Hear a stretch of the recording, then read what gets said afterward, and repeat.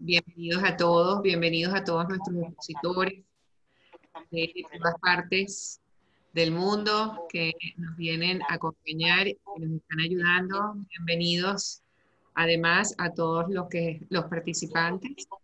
Trabajamos con ustedes. Eh, le doy la palabra a Marisol, nuevamente agradecida y el, el, tiempo y el espacio es todo de ustedes. Gracias. ¿Cómo quiere decir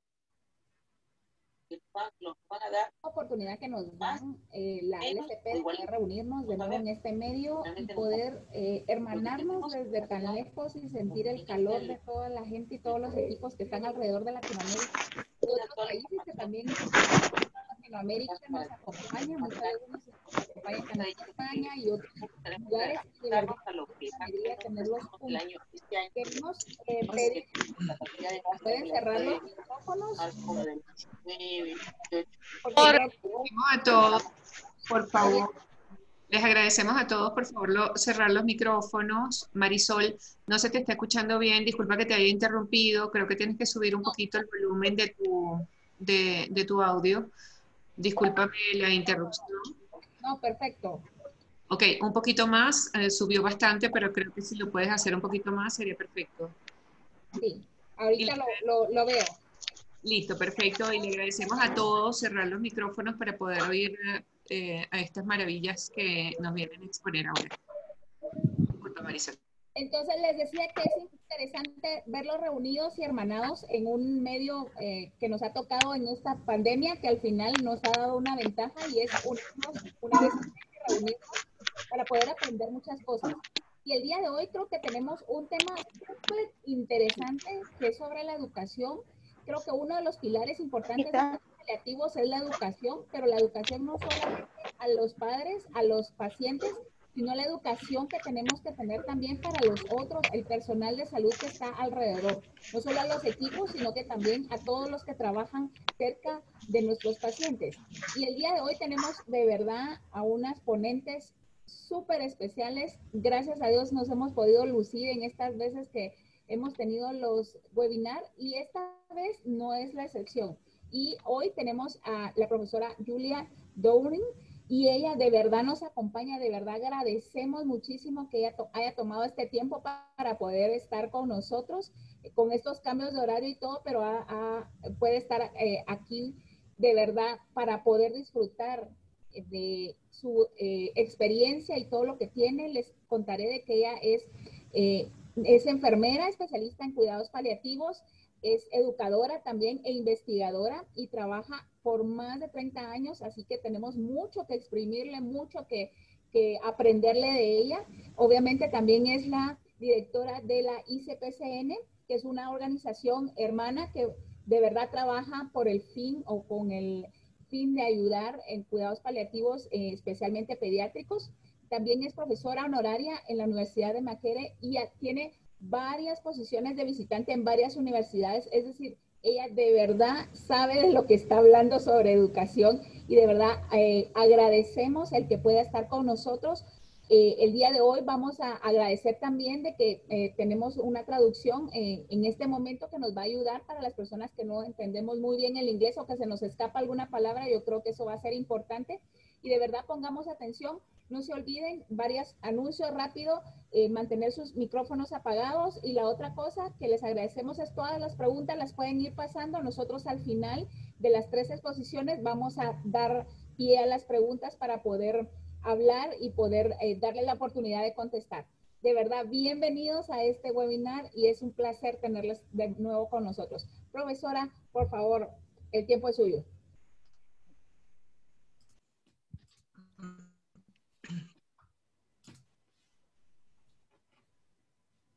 Thank you very much. And I'm really pleased to be with you this afternoon. Muchas gracias. Estoy realmente complacida de estar con ustedes esta tarde.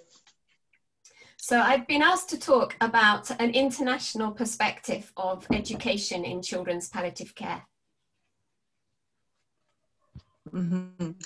Me, han pedido que hablara sobre una perspectiva internacional de la educación eh, de cuidados paliativos en niños. because we want to ensure that all children have access to good palliative care.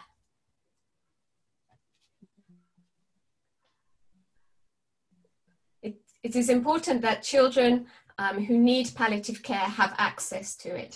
And so education, queremos asegurar que todos los niños tengan el cuidados paliativos.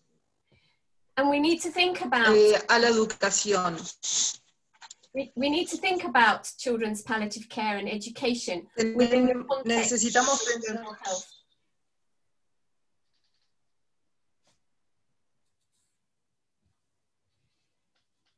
So some of the, the global health priorities in which we are working include that of universal health coverage, the Sustainable Development Goals, the Lancet Commission report, the Astana Declaration on Primary Healthcare, and of course, more recently, the COVID-19 pandemic.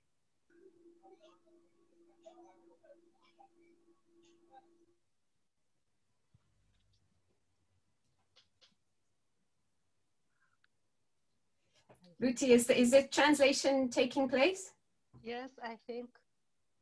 S- Marigel, ¿estás allí? Yes, yes, sorry. I got disconnected for a moment and I got out of the session. Could you read the last part? Sorry, Julia. That's okay, I just couldn't see you. Um, Yes. I, I was saying that within children's palliative care, we need to look at the global context, and that includes some of these priorities, such as universal health coverage, sustainable development goals, um, the Lancet Commission report, and of course, COVID 19 more recently. Ahí está. Que para tener toda la perspectiva global de los cuidados paliativos pediátricos tenemos que, que justamente eh, incorporar todo este contexto mundial actual.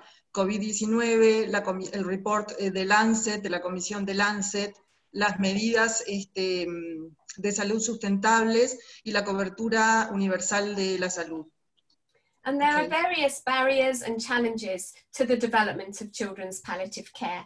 And education, um, a lack of education, a lack of trained health professionals um, are key challenges to the development of children's Mhm. palliative care. Que hay muchas barreras y muchos desafíos para lograr eh, un, un buen acceso a los cuidados paliativos pediátricos. Eh, la falta de, de entrenamiento, em, la falta... eh, can you repeat the last part? Because I'm not seeing the, the, the presentation. Um, I was saying a, a lack of access to education and trained healthcare professionals is a challenge for the Mhm. development of children's palliative care. O sea, está. Que uno de los desafíos más grandes es la falta de, de profesionales entrenados y la falta de acceso, digamos, más igualitario de todos los niños a estos cuidados. Julia, may, may I, uh, uh, a moment please? We, we are not seeing your presentation. Can you put it again? Yes, please. Thank you. Oh, it's, it's telling me it is. Ah, okay. Let me try again. Okay. Yes, because that helps for the memory. Ayuda a la memoria poder leerla. Okay. Can you see it now? Yes, perfect. And if I put it on slideshow, can you still see it or not? Yes, you put it this way. Uh, Can you can you see it now? No, No. Okay. I will I will leave it like this because yes, perfect. Mm, I'll leave it like that. perfect. Perfect. Okay. Well, so some of the, the barriers and challenges for education in children's palliative care um, include a lack of recognition of what Mhm. children's palliative care is. Que una de las principales barreras es la falta de reconocimiento de lo que realmente son los cuidados paliativos pediátricos. And sometimes there's relatively small numbers that need training, and so it, it is not sustainable to have too many um, programs or education courses. Hay un, un relativo número pequeño de personas eh, asistiendo a entrenamiento en esta área, por lo tanto, financieramente no es sostenible la- esa actividad. But we know that education is one of the foundations for the development of palliative care services. Pero sabemos que la educación es una de, del- de las piezas fundantes, digamos, de los fundamentos del servicio de cuidado paliativo pediátrico. And in the World Health Assembly resolution in 2014, they highlighted the need for education. Ujú. Y en la resolución de la OMS del 2014 justamente resaltaron esa necesidad de la educación en esta área. And they identified three different um, levels of education basic training and continuing education, intermediate training, and then specialist training. Y se han identificado tres niveles de entrenamiento y de intervención, que es un entrenamiento básico eh, y una, una educación continua en el cuidado paliativo, un entrenamiento intermedio eh, para todas las personas que están trabajando con pacientes con estas enfermedades y un, eh, un entrenamiento especialista, de especialidad, digamos, en cuidado paliativo. So, this should ensure that everybody has some training on palliative care and, in our case, on children's palliative care. Y de esta forma nos aseguraríamos que todo el mundo tuviera un entrenamiento, algún tipo de entrenamiento en cuidados paliativos y en este tema que, que estamos tratando hoy, en, en específico en cuidados paliativos pediátricos. If we look at the education and training courses that are being provided, there are a, a wide variety of models of delivery of education. Si, si echamos una mirada, si miramos eh, los tipos de cursos de educación y entrenamiento que hay, vemos que hay una gran variedad de los mismos. And one of the key things is the inclusion of both, of both theory, but also clinical practice, that you need to be able to see children's palliative care in practice. Y algo importante a destacar es que por un lado está la teoría, pero tiene que estar junto a la práctica, porque si bien la teoría es muy importante, la- las personas necesitan eh, simultáneamente tener la práctica de ver lo que es hacer cuidados paliativos pediátricos. And it is important that education is competency based. So it's based on the competencies that the people trained should be able to do so that they can provide that palliative care. Mm, Es muy importante que sea un aprendizaje, un entrenamiento basado en las competencias, o sea, en definitiva en las competencias que las personas necesitan tener y desarrollar para dedicarse a esta área.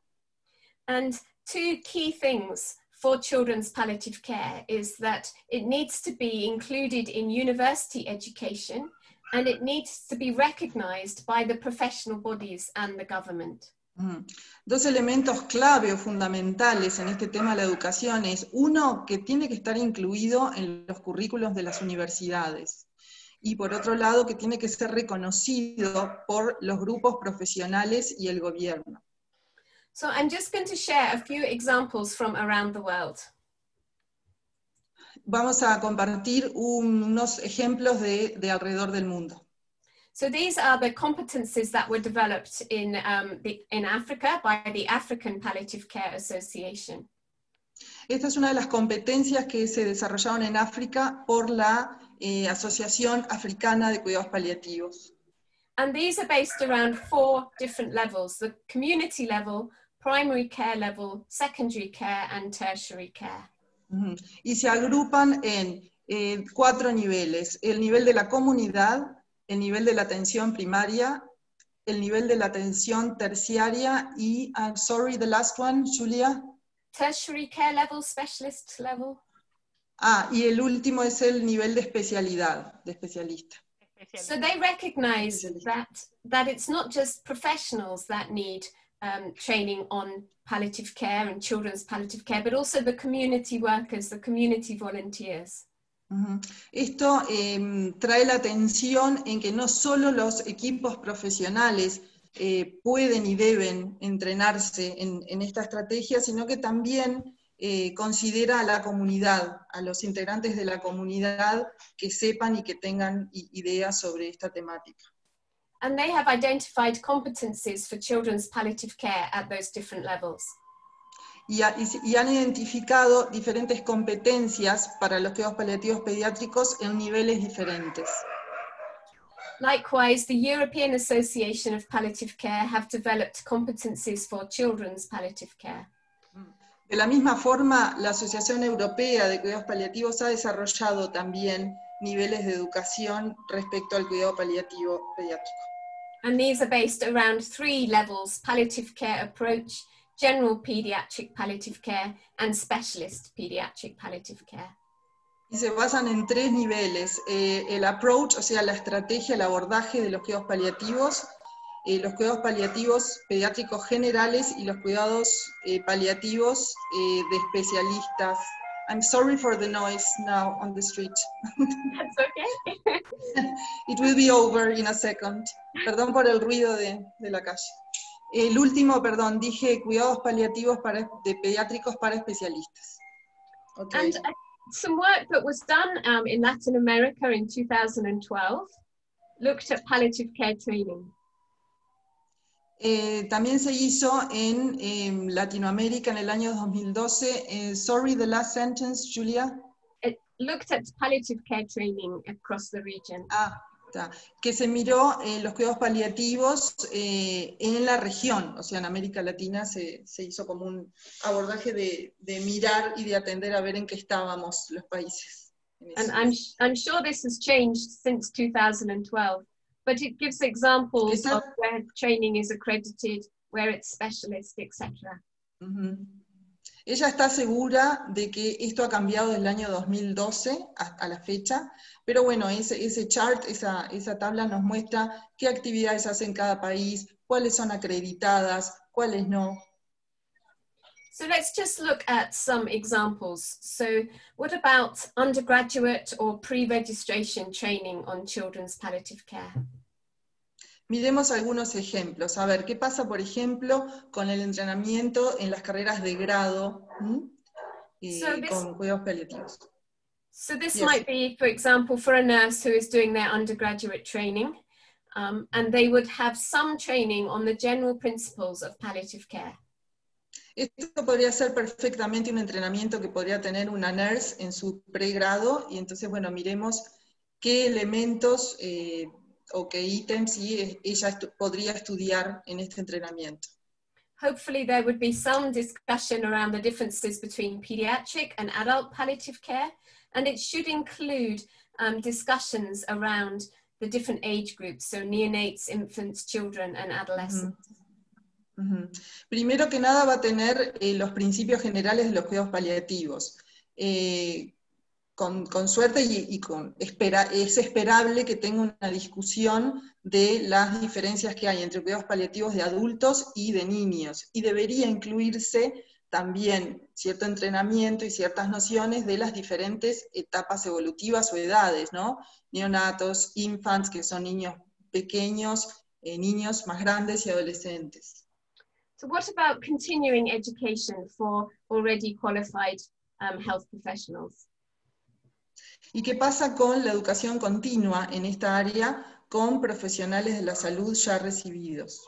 So some examples are the EPIC pediatrics, and I know they um, have done many EPIC courses within the Latin American region.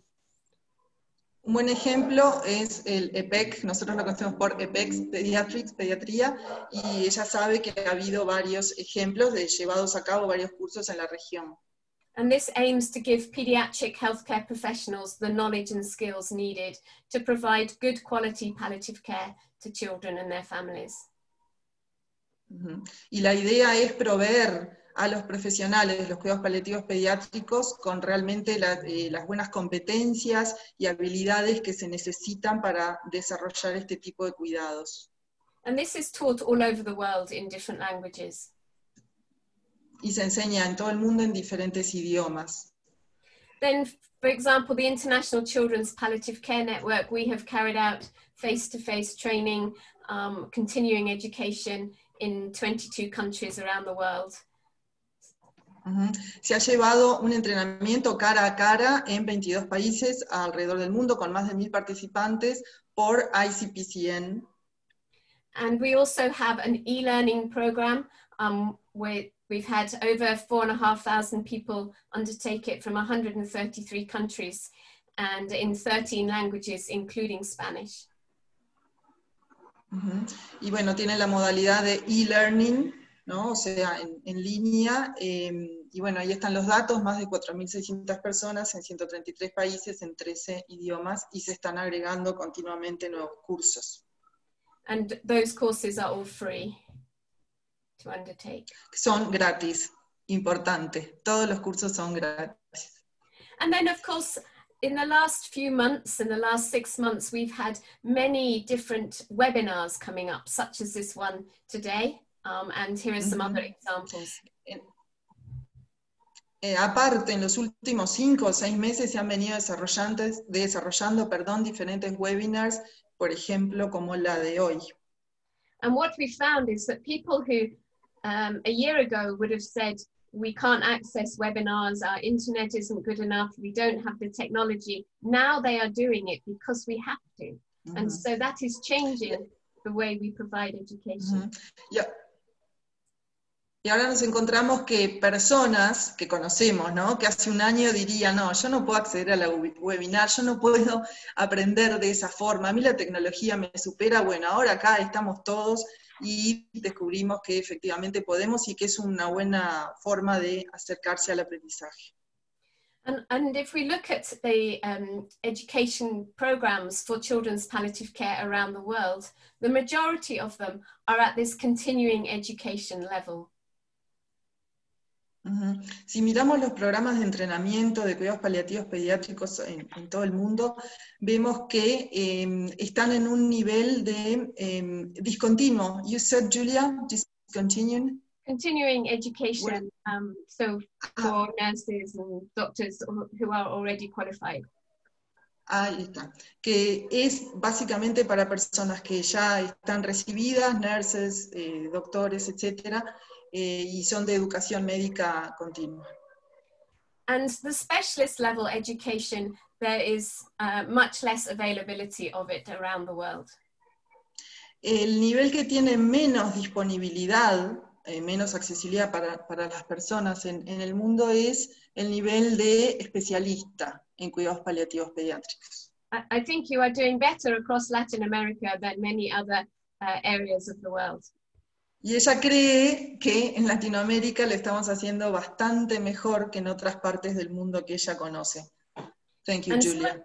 Some of this specialist education is um, academic and some of it is professional training. Dentro de esto ha- hay como dos, dos ramas, una más, eh, digamos, académica y otra más de entrenamiento profesional. So I can give a few examples in this one in Uganda, in South Africa, in, in Africa. There's a few in Italy and um, the UK, um, in Europe, and there's one in India. Esos son ejemplos, algunos, ¿no? De Uganda, de Italia, eh, alguno en India, eh, en el Reino Unido, bueno, en, en Cardiff también, bueno, México, ahí tienen Latinoamérica. And it's really important. It's really important that we increase access to specialist children's palliative care education around the world. Es, es realmente un punto importante incluir este nivel de educación de, de especialista en el área eh, en, en la medida que se pueda en todo el mundo.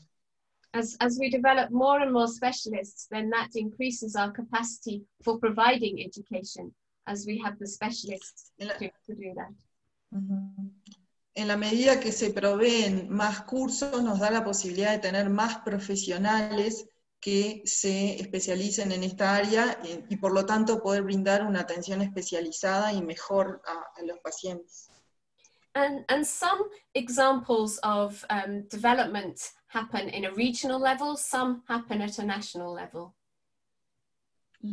Algunos ejemplos eh, suceden en un nivel nacional y otros en un nivel internacional. Sorry, was that okay?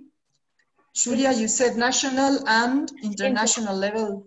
Nas- national Okay. and regional. So some might Ah, be regional, perdón, nacional y regional. Ok, yes. Okay. um, and I just want to share an example from the UK.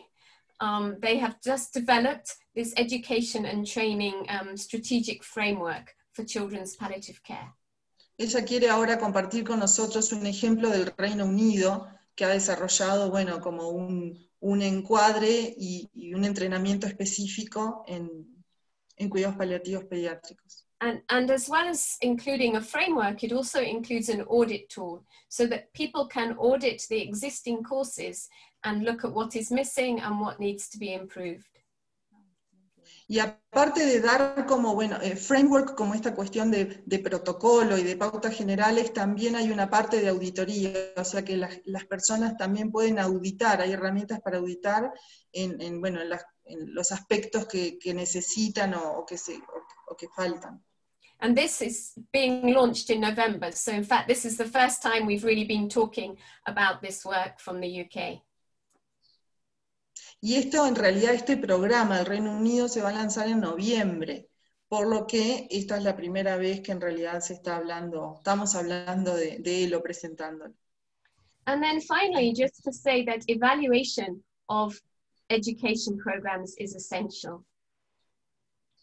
Finalmente decir que un punto fundamental y esencial es la evaluación en, en bueno, en, en, estos aprendizajes, en estos entrenamientos de cuidados paliativos pediátricos. And I, I just gave an example here in Australia where they have um, a national program on pediatric palliative care and how they've been evaluating its impact. Uh -huh. Ya di un ejemplo de eh, un programa australiano ¿sí? de entrenamiento en, en el área y, y de, cómo, eh, de cómo lo están evaluando, cómo es la evaluación de dicho programa. And uh, evaluation of education is not easy to do. It can be challenging, but it is so important. Sí, ya sabemos que la evaluación no es algo sencillo de hacer, que puede ser muy desafiante, pero por lo tanto es muy importante hacerlo y, y hacerlo bien.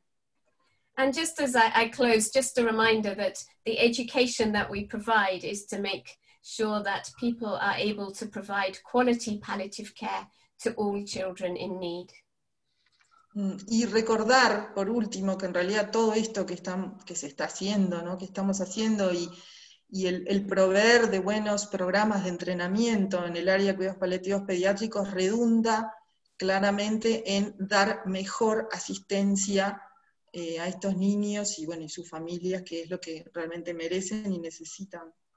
So that is a quick look at um, an international perspective on education and children's palliative care. Muchas gracias. Bueno, este fue un, un, una mirada rápido de lo que, en lo que está en el mundo en cuanto a, a, los cursos de entrenamiento y aprendizaje del área de cuidados paliativos pediátricos. Thank you, Julia, for the patience. Thank you. Gracias. Gracias de verdad por toda esta gran llena información que nos ha llegado. Creo que es eh, muy importante. Muchas veces el, los cuidados paliativos, no, las personas que quieren especializarse en cuidados paliativos no reconocen o no identifican en qué lugares o con formas pueden educarse y también sabemos de que todavía hay eh, ciertas limitaciones, todavía nos falta mucho por crecer, pero creo que estamos caminando por buen paso, como dice eh, la profesora, pero queremos obviamente hacer más cosas y creo que hay muchas oportunidades de crecimiento y muchas oportunidades de aprendizaje y parte de eso hoy viene a platicarnos la doctora Mercedes Bernadá. De verdad es un placer tener a mi amiga aquí y ella es especialista en pediatría, cuidados intensivos pediátricos y docencia universitaria. Es profesora agregada de la pediatría de la Facultad de Medicina de la Universidad de la República y es coordinadora de la Universidad de la Unidad de Cuidados Paliativos Pediátricos del Centro Hospitalario Pereira Rosell. También es secretaria del Comité de Cuidados Paliativos de la Sociedad Uruguaya de Pediatría. Es coordinadora de la clínica ECO de cuidados paliativos pediátricos, que hoy nos va a venir a contar un poco de eso también, y también es integrante de EPEC Pediátrico Latinoamérica.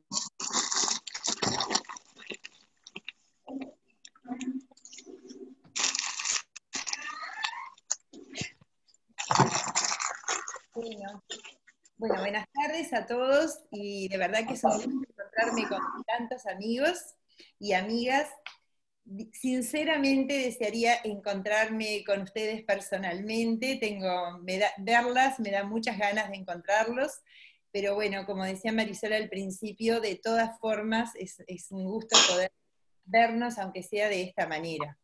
Yo voy a compartir eh, la pantalla, un segundito. Lupe, por favor, ¿podrías apagar tu micrófono?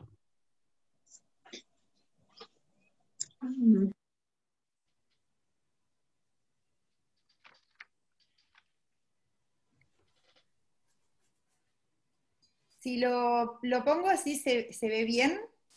¿Sí? Perfecto. Perfecto. Bueno, muy bien. Bueno, em, en la tarde de hoy, eh, los compañeros del Comité de Cuidados Paliativos Pediátricos de la Asociación me pidieron que compartiera con ustedes eh, la experiencia en la Clínica ECO de Cuidados Paliativos Pediátricos y a nosotros nos gustó llamar a esta presentación Comunidad de Aprendizaje Virtual, Clínica ECO de Cuidados Paliativos Pediátricos. Eh, yo estoy hablando en nombre de, un equipo, del equipo de la Unidad de Cuidados Paliativos Pediátricos del Hospital Pereira Rosell, como dijo Marisol, que es el hospital pediátrico de referencia del Uruguay, es un hospital público que está dedicado a la atención de mujeres y de niños, y es en ese lugar donde se originó hace 12 años la primera unidad de cuidados paliativos pediátricos que tengo el gusto de coordinar. Así que bueno, eh, este es un trabajo colectivo y la mayoría de mis compañeros del equipo están presentes acá entre el auditorio. Así que bueno, eh, esto es el nombre de todos. Em, a ver, ahí está. Bueno, en primer lugar quiero aclarar que no tengo conflictos de intereses y que eh, lo que voy a abocarme en estos minutos que voy a compartir con ustedes es en primer lugar describir eh, específicamente el proyecto ECO y la clínica ECO de cuidados paliativos pediátricos, quiero aprovechar esta experiencia para reflexionar sobre algunas de las estrategias pedagógicas que, se aplican, no, inconscientemente, pero que están utilizadas en eh, el proyecto ECO, y bueno, y finalmente motivarlos e invitarlos a sumarse a esta comunidad educativa. Como recientemente decía Julia, en la resolución de la Asamblea Mundial de la Organización Mundial de la Salud, aunque ya venía siendo una proclama desde mucho tiempo atrás, se menciona eh, o se da, diríamos, la indicación a los países a implementar acciones para implementar cuidados paliativos para todos. Y en el marco de esas eh, directivas eh, se estipulan acciones básicas para el desarrollo de cuidados paliativos, como son la integración de, cuidados de los cuidados paliativos en las políticas públicas, el libre acceso a medicamentos, particularmente de opiáceos, el desarrollo de servicios de cuidados paliativos en el hogar y en la comunidad, y obviamente la inclusión de los cuidados paliativos en la formación profesional y también de la población. Es así que, aunque mm, nuestros roles profesionales, no sean específicamente de docentes, porque quizás la mayoría de quienes estamos acá eh, puedan no tener ese rol específico o esa descripción de función en lo que es su contrato laboral, sabemos que en cuidados paliativos en general y en cuidados paliativos pediátricos en particular, es una responsabilidad y una obligación moral de todos que a la vez de nosotros aprender para brindar mejores cuidados paliativos, también compartir nuestros conocimientos, nuestra experiencia, nuestros procedimientos aprendidos para poder mejorar eh, y ampliar el acceso eh, de los cuidados paliativos a todos los niños que los necesitan en nuestros países. Es así que todos, seamos docentes o no seamos docentes, tenemos necesidad de enseñar. Y es así que em, Obviamente que no es lo mismo saber medicina que enseñar, eh, me refiero a medicina en general, a todas las disciplinas y profesiones dentro de la salud. Y entonces eh, me parecía que, estaba, que era interesante aprovechar algunos conocimientos que vienen desde la educación, eh, que son útiles para aplicar a la hora de planificar actividades educativas. Y dentro de ellos es el pensar eh, frente a cualquier actividad cuáles son los objetivos de aprendizaje que quiero dedicar. Y es así que usando la taxonomía de Bloom, uno puede pensar en general en objetivos de aprendizaje del dominio cognoscitivo, conocimiento, del dominio afectivo, actitudinal o del dominio psicomotor. Y si pensamos esto desde lo que sería la planificación, por ejemplo, de una actividad en cuidados paliativos pediátricos, sabemos que necesitamos muchos conocimientos en lo que tiene que ver con patologías, desarrollo de niños, psicopatologías, fármacos, aspectos eh, de lo que tiene que ver con los, aspectos sociales, entre otros. También que tenemos necesidad de aprender y de enseñar objetivos que tienen que ver con lo afectivo, con lo actitudinal, como la empatía, la compasión, la honestidad, la integridad, entre otros, y también objetivos de aprendizaje que tienen que ver con destrezas manuales, algunas como por ejemplo los accesos venosos, el manejo de las prótesis, pero también con procedimientos que tienen que ver con comunicación, con reuniones con familias en general. Y la mala noticia de esto es que ningún formato educativo puede abarcar todos los tipos de aprendizaje que son necesarios para brindar cuidados paliativos pediátricos de calidad. Eh, pero es importante tenerlos presentes, es importante tener presente que si uno apunta a un grupo de objetivos de aprendizaje, puede estar dejando de lado otro grupo que necesitará otra estrategia eh, educativa para eh, el logro de los mismos. Es así que en este entendido, yo lo que voy a compartir en los próximos minutos es un formato educativo que obviamente eh, apunta a un tipo de aprendizajes y no necesariamente a todos. Entonces, el, el proyecto ECO o la clínica ECO de cuidados paliativos pediátricos consiste en, bueno, en una actividad que se realiza en forma mensual relacionada a discusión de casos, ahora voy a explicar a continuación más exactamente cómo se realiza, es una actividad mensual eh, a cargo de un equipo coordinador, que es el equipo que mencioné al inicio, y que se viene realizando en forma ininterrumpida desde marzo de 2016 mensualmente hasta la fecha pero eh, este proyecto, este mm, desarrollo cuidados de ECO, cuidados paliativos pediátricos, está incluido en un proyecto más grande que es ECO Uruguay, que se desarrolla desde el año 2014 y que así como está en nuestra clínica ECO de cuidados paliativos, existe también de cuidados paliativos de adultos, pero también de otros temas diversos eh, con el mismo formato. Pero a su vez, el proyecto ECO Uruguay pertenece a un proyecto educativo más grande, global, que es el proyecto ECO Global, que nació en Albuquerque, en Nuevo México, Estados Unidos, en el año 2003, y que así como tiene la base o el centro en Uruguay, lo tiene en este momento en muchos otros países del mundo. Cuando uno habla de, del proyecto ECO, em, no puede dejar de mencionar eh, al menos desde Uruguay a dos personas, al doctor Sanjeev Arora, un profesor de gastroenterología de la Universidad de Nuevo México, y eh, que fue el creador y el promotor de ECO, que significa extensión de los resultados de atención en salud hacia la comunidad. Y en Uruguay no puedo dejar de mencionar al alma mater del proyecto ECO Uruguay, que es el profesor Henry Cohen, también gastroenterólogo, que fue quien trajo la idea del proyecto del Uruguay y que eh, fue el promotor de este desarrollo.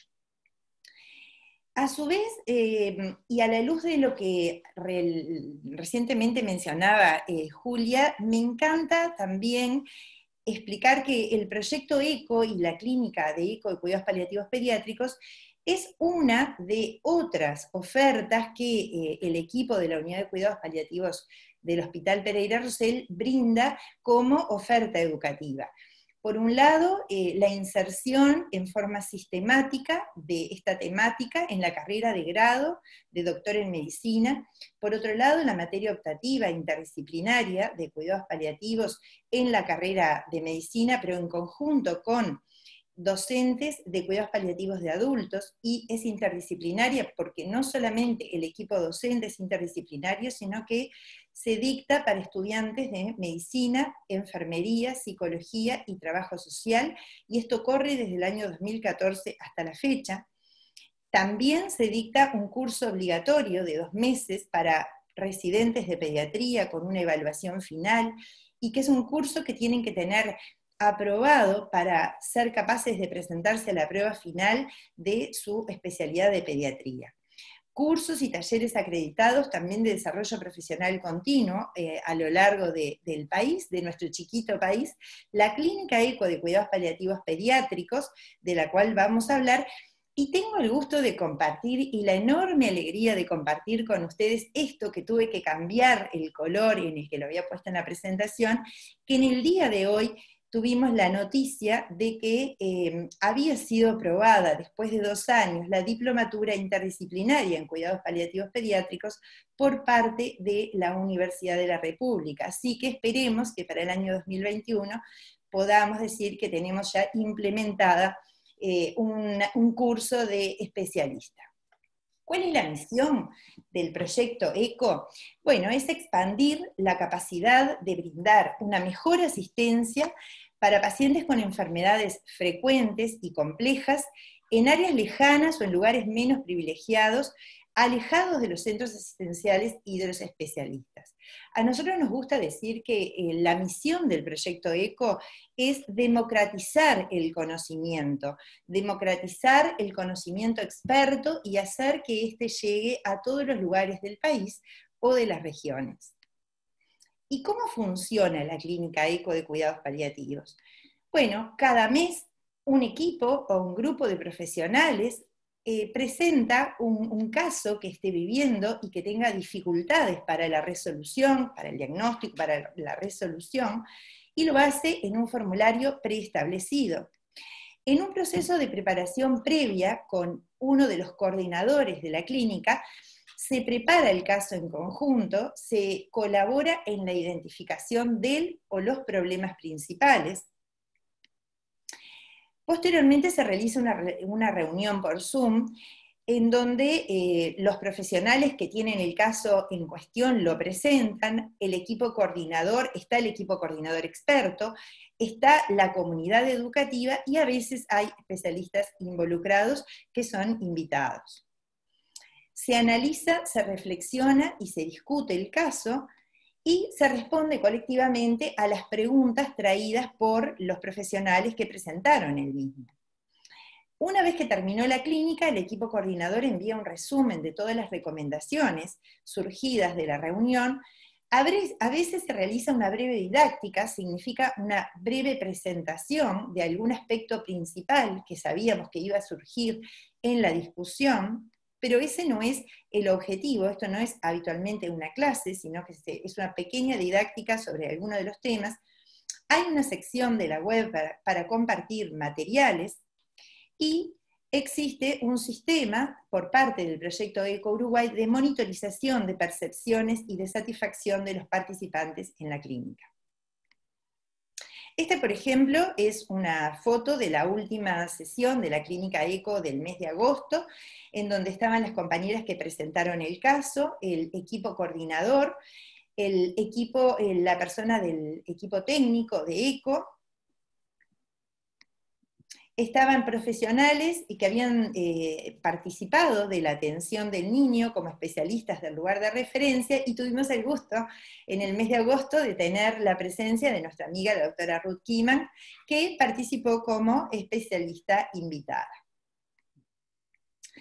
Esto era un pequeño reporte, un, reporte que pensábamos presentar en el Congreso de Cuidados Paliativos de Costa Rica y que ojalá podamos presentar en, algún momento a la brevedad, de evaluación de la percepción de competencias, de capacidades y autoconfianza de los participantes en la Clínica Eco de Cuidados Paliativos Pediátricos.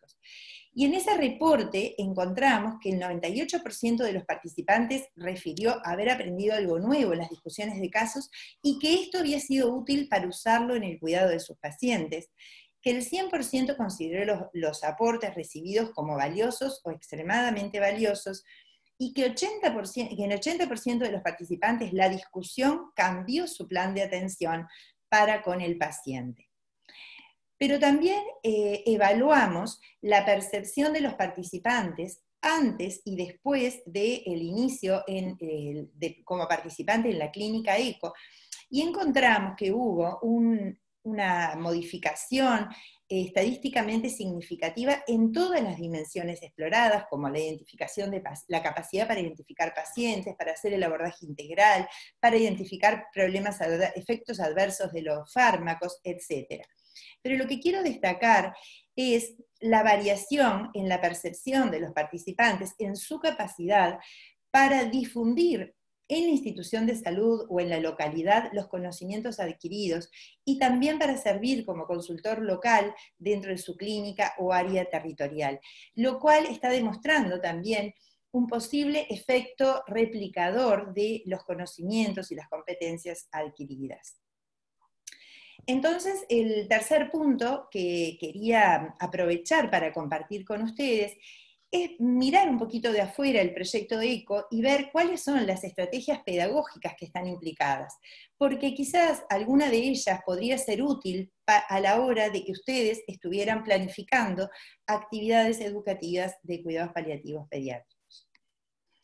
Entonces, me gustaría dar un minuto para que eh, alguno de ustedes Em, primero para que todos piensen cómo se dan cuenta, cuando reconocen, cuando algo lo entendieron bien, cuando lo entendieron en forma significativa, cuando dicen, lo sé, lo comprendí.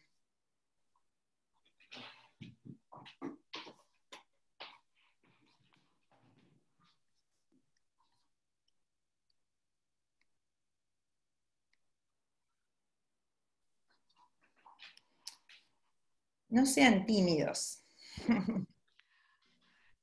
Es que me parece que no se entendió que era una pregunta, de sí. Ah, es una pregunta y la pregunta es, ¿cómo se dan cuenta ustedes cuando están en un proceso de aprendizaje, cuando están haciendo un curso, cuando, cuando están leyendo, estudiando? ¿Cómo se dan cuenta cuando aprendieron algo de verdad, cuando sienten que lo captaron profundamente? Bueno, perdón, ah, yo este, ¿Cómo los reconoce uno? Bueno, yo los reconozco, por ejemplo, cuando me siento bien, me siento feliz, contenta por ese aprendizaje que he tenido y que además de eso lo voy a aplicar a los pacientes y también a los compañeros de trabajo. Pues, o sea, es como que algo fluye tan bonito todo y uno se siente así como que, qué, qué bueno que aprendí esto.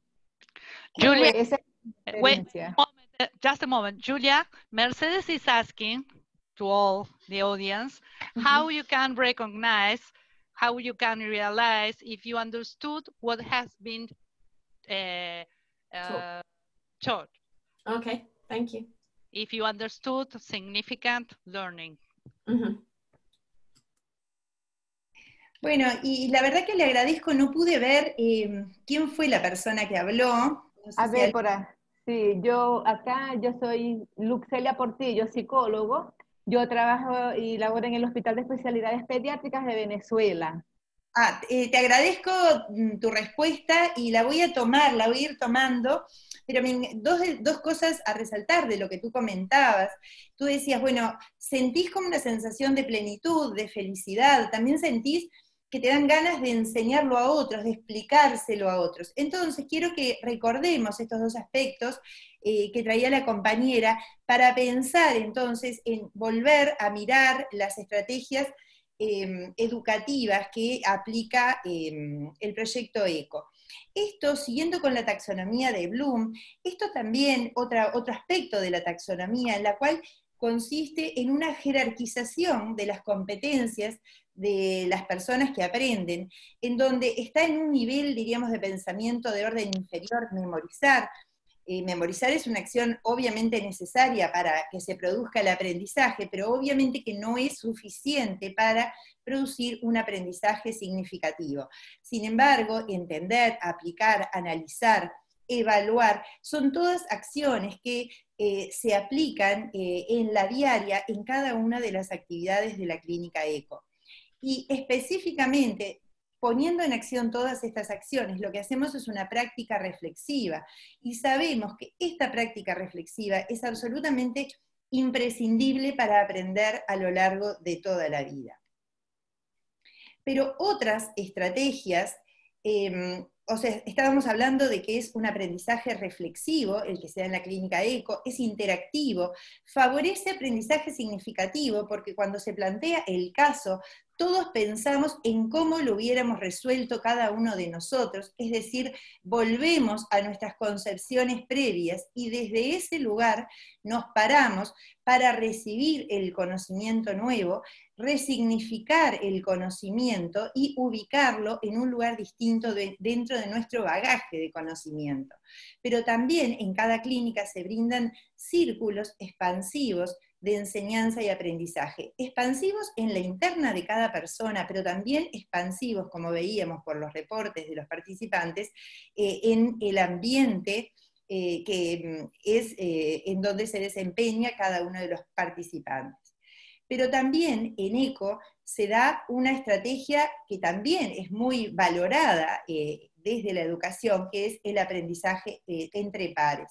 Porque en las clínicas ECO todos enseñan y todos aprenden, todos enseñamos y todos aprendemos, y se constituye realmente lo que, se, lo que conocemos como y sentimos como una comunidad de aprendizaje.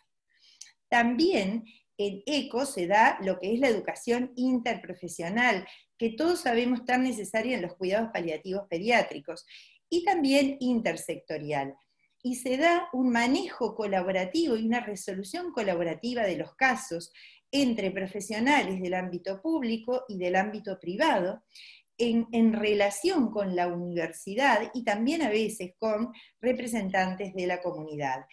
Y también ECO pone en juego lo que es el, el aprendizaje en acción, porque ese aprendizaje desde el trabajo, desde las necesidades que nos surgen en el trabajo y para el trabajo, porque estas consultas especializadas van a redundar en una mejora del desempeño del trabajo de los participantes. Y otro concepto que a mí me encanta también em, y quiero compartir con ustedes, y es que en ECO se da el aprendizaje en espiral. Y aprendizaje en espiral como si uno pensara el movimiento de rotación y traslación de la Tierra. Aprendizaje en espiral, por eso que les decía, de que cada vez que uno eh, piensa un caso nuevo, que se presenta un caso nuevo y uno lo piensa, uno vuelve a lo que ya sabe, eh, lo pone en juego, lo interpela a la luz del nuevo aprendizaje.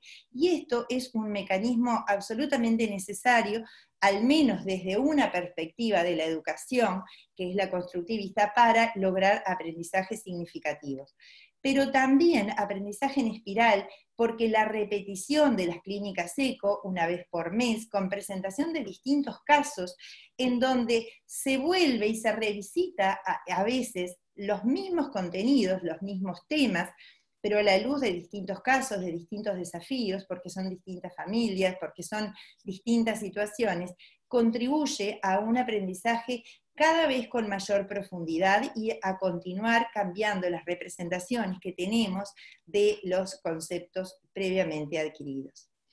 Así que em, el tercer, el último objetivo que, tenía para compartir con ustedes era motivarlos e invitarlos a sumarse a esta comunidad educativa.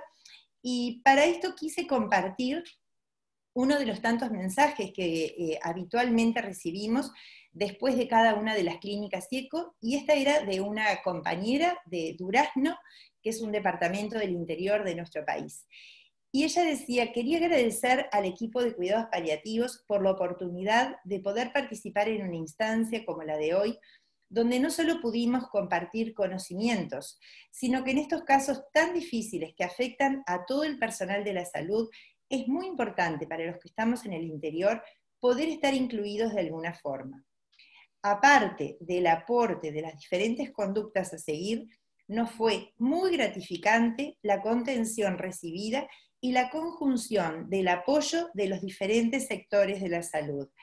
Creo que las palabras de esta compañera reflejan eh, en, gran medida muchos de los aspectos que estuvimos mencionando y describiendo de eh, lo que significa la clínica ECO, en donde, como la compañera eh, refiere, se trabajan objetivos de conocimiento, obviamente, es una parte muy importante.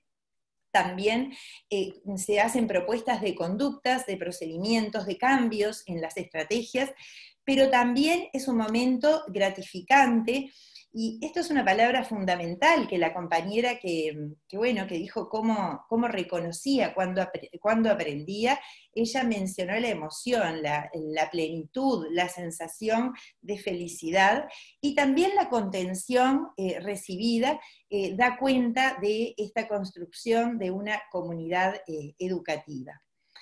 Entonces, eh, para concretar esta invitación a todos aquellos que les interese em, sumarse a la comunidad educativa, deben escribir un mail a proyectoecuruguay.fmed.edu.uy. Van a recibir eh, como respuesta un link donde el segundo jueves de cada mes, eh, entre las 11 y 12 y 30 horas del AM Uruguay, eh, bueno, vamos a estar ahí compartiendo distintos casos del trabajo diario. Eh, por si alguien quiere conocer un poquito más sobre esta propuesta, este es el mail de la Unidad de Cuidados Paliativos Pediátricos. Y para terminar, quiero em, dejarlos con esta oración que está en el capítulo de educación del libro em, recientemente editado por ICPCN, eh, en donde, bueno, nuestra eh, invitada, Julia Downing, es la editora. Em, y entonces, en este libro dice que la educación está en el corazón de la entrega de servicios de cuidados paliativos y constituye un componente principal de la estrategia de salud pública de la OMS. Y no quiero repetir lo que ya se dijo anteriormente eh, de la importancia de la educación como forma de diseminar y de universalizar el acceso a los cuidados paliativos.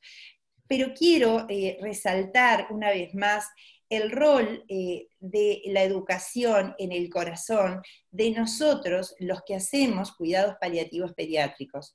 la realidad es que la sensación que tenemos en nuestro equipo cuando terminamos un taller agotador de dos días con compañeros, con colegas y profesionales de distintas disciplinas del interior, es la misma sensación de gratitud que tenemos cuando eh, recibimos esa mirada a los ojos de los padres de los pacientes, cuando nos transmiten que encontraron en nosotros eh, mm, la, comprensión, el acogimiento, eh, el que entendemos de qué se trata, lo que están viviendo.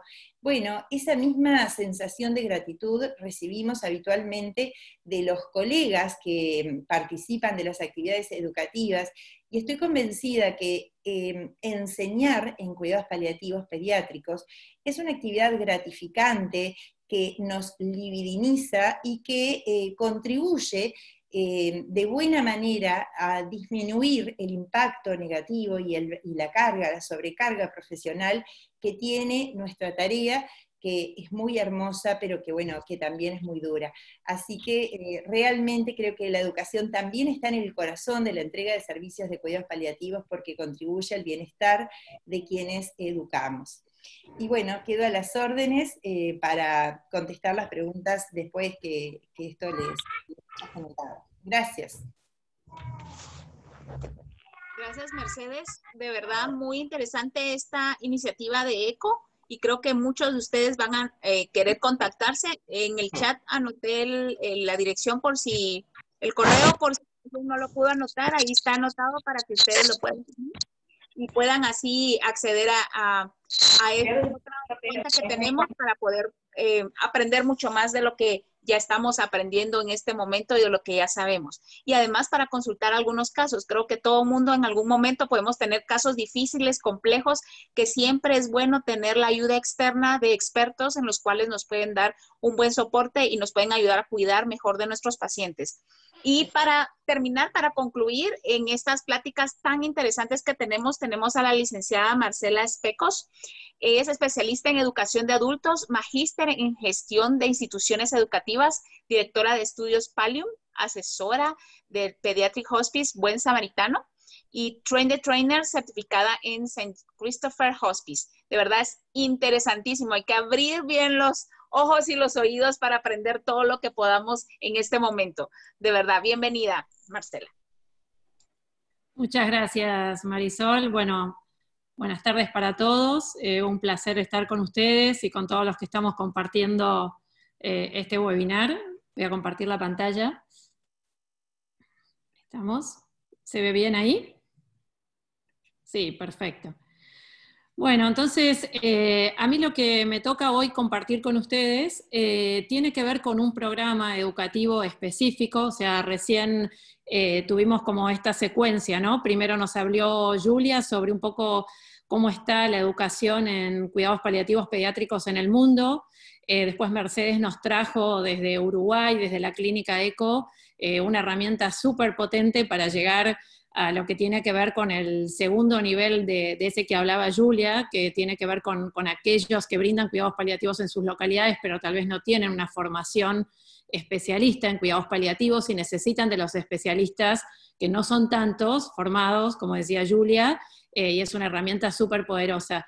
Y a mí lo que me toca compartir en estos minutitos que nos quedan es un programa que es un modelo educativo para instituciones, específicamente como sería eh, la base de la pirámide, que tendría que ver con aquellas instituciones donde no tienen cuidados paliativos y necesitan implementar un enfoque paliativo para mejorar la calidad de vida en el final de la vida para todos. ¿no?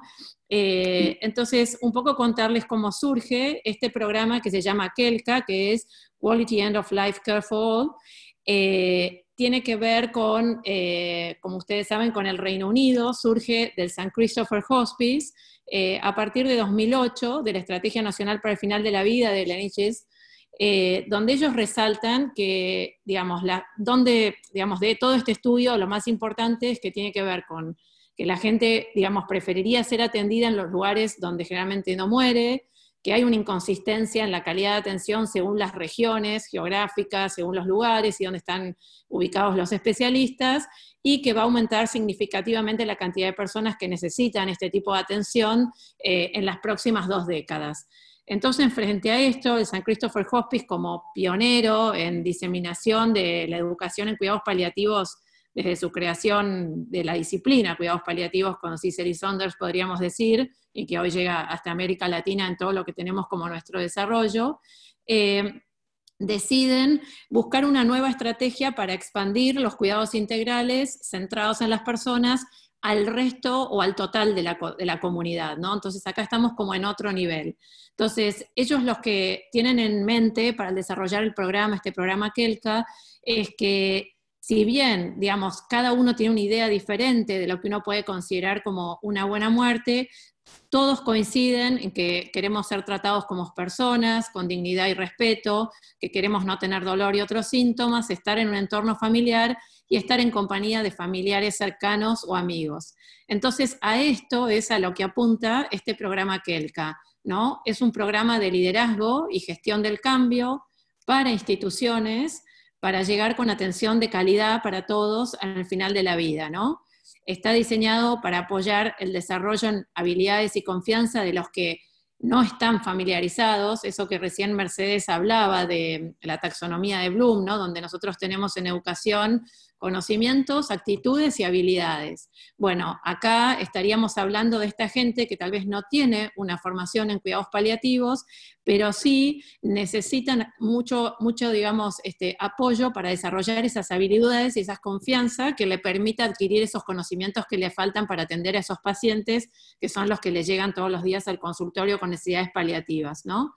Eh, está facilitado por especialistas de cuidados paliativos y eh, destaca, en todo momento el trabajo emocional y la importancia del autocuidado del profesional que, está en cuidados paliativos, ¿no?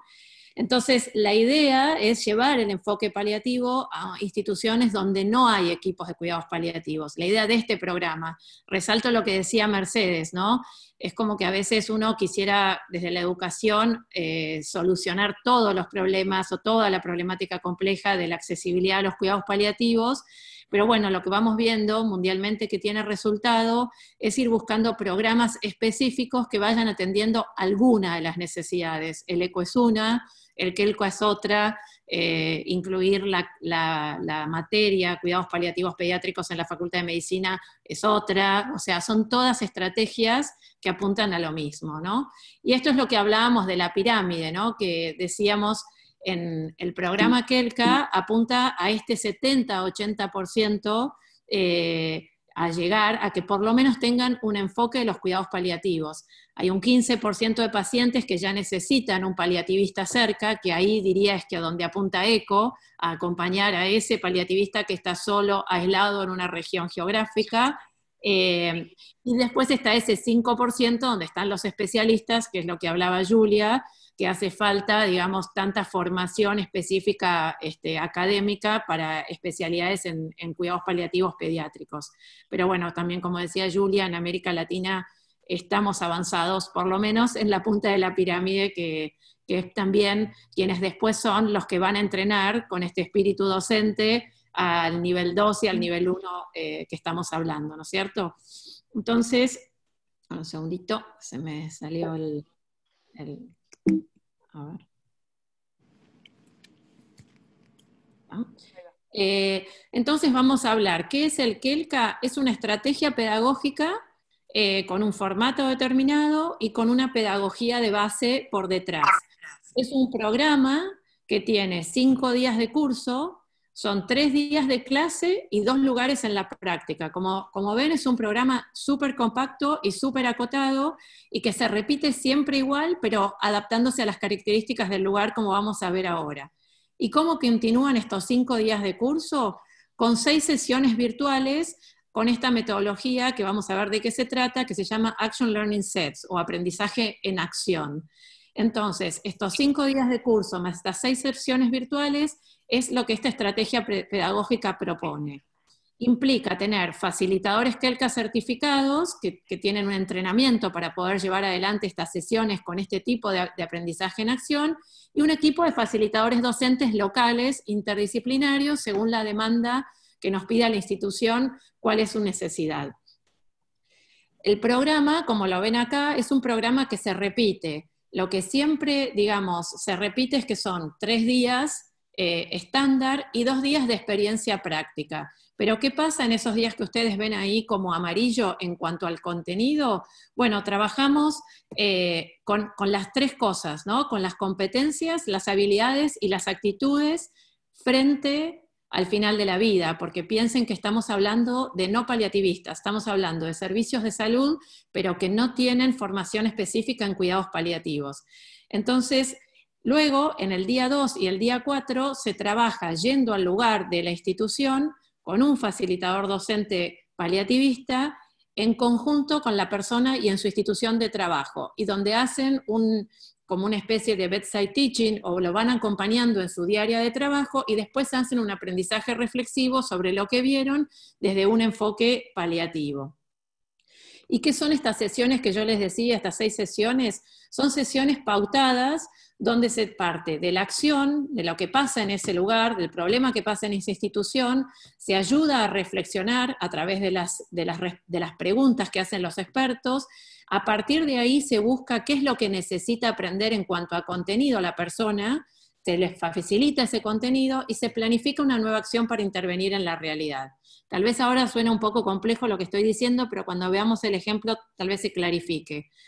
Eh, este tipo de aprendizaje es ideal para lugares donde hay alta presión en la toma de decisiones, donde los escenarios van cambiando, y esto en América Latina sabemos que es así, que al momento de tomar una decisión, tal vez los recursos variaron, tal vez cambió la gestión, tal vez cambió la dirección política, y todo eso hace, que los escenarios sean inestables y que necesitemos también modelos educativos que se adapten a la realidad local y que también sean flexibles, ¿no?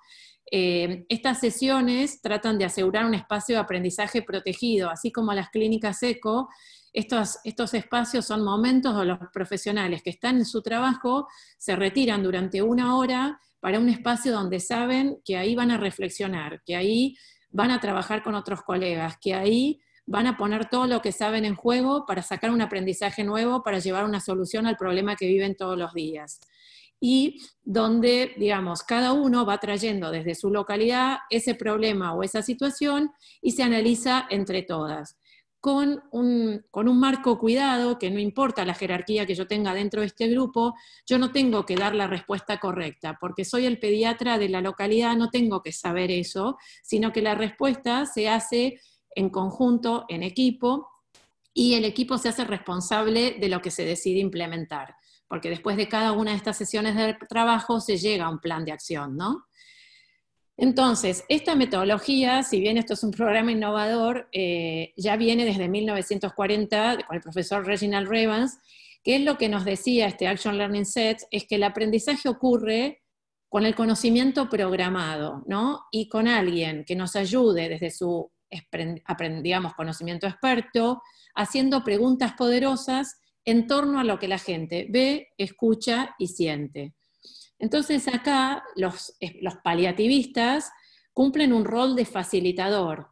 Eh, si bien el aprendizaje está centrado en el estudiante, en el que vendría a ser el profesional que está en su lugar de trabajo, el rol del docente ya no es el transmisor, el que trae el saber y va a dar una indicación. No, el docente se convierte en coach, en facilitador, sí es experto en contenidos, pero va a tratar de analizar y de hacer preguntas poderosas en función de ese marco de referencia o de ese conocimiento validado que trae por su expertise, ¿no?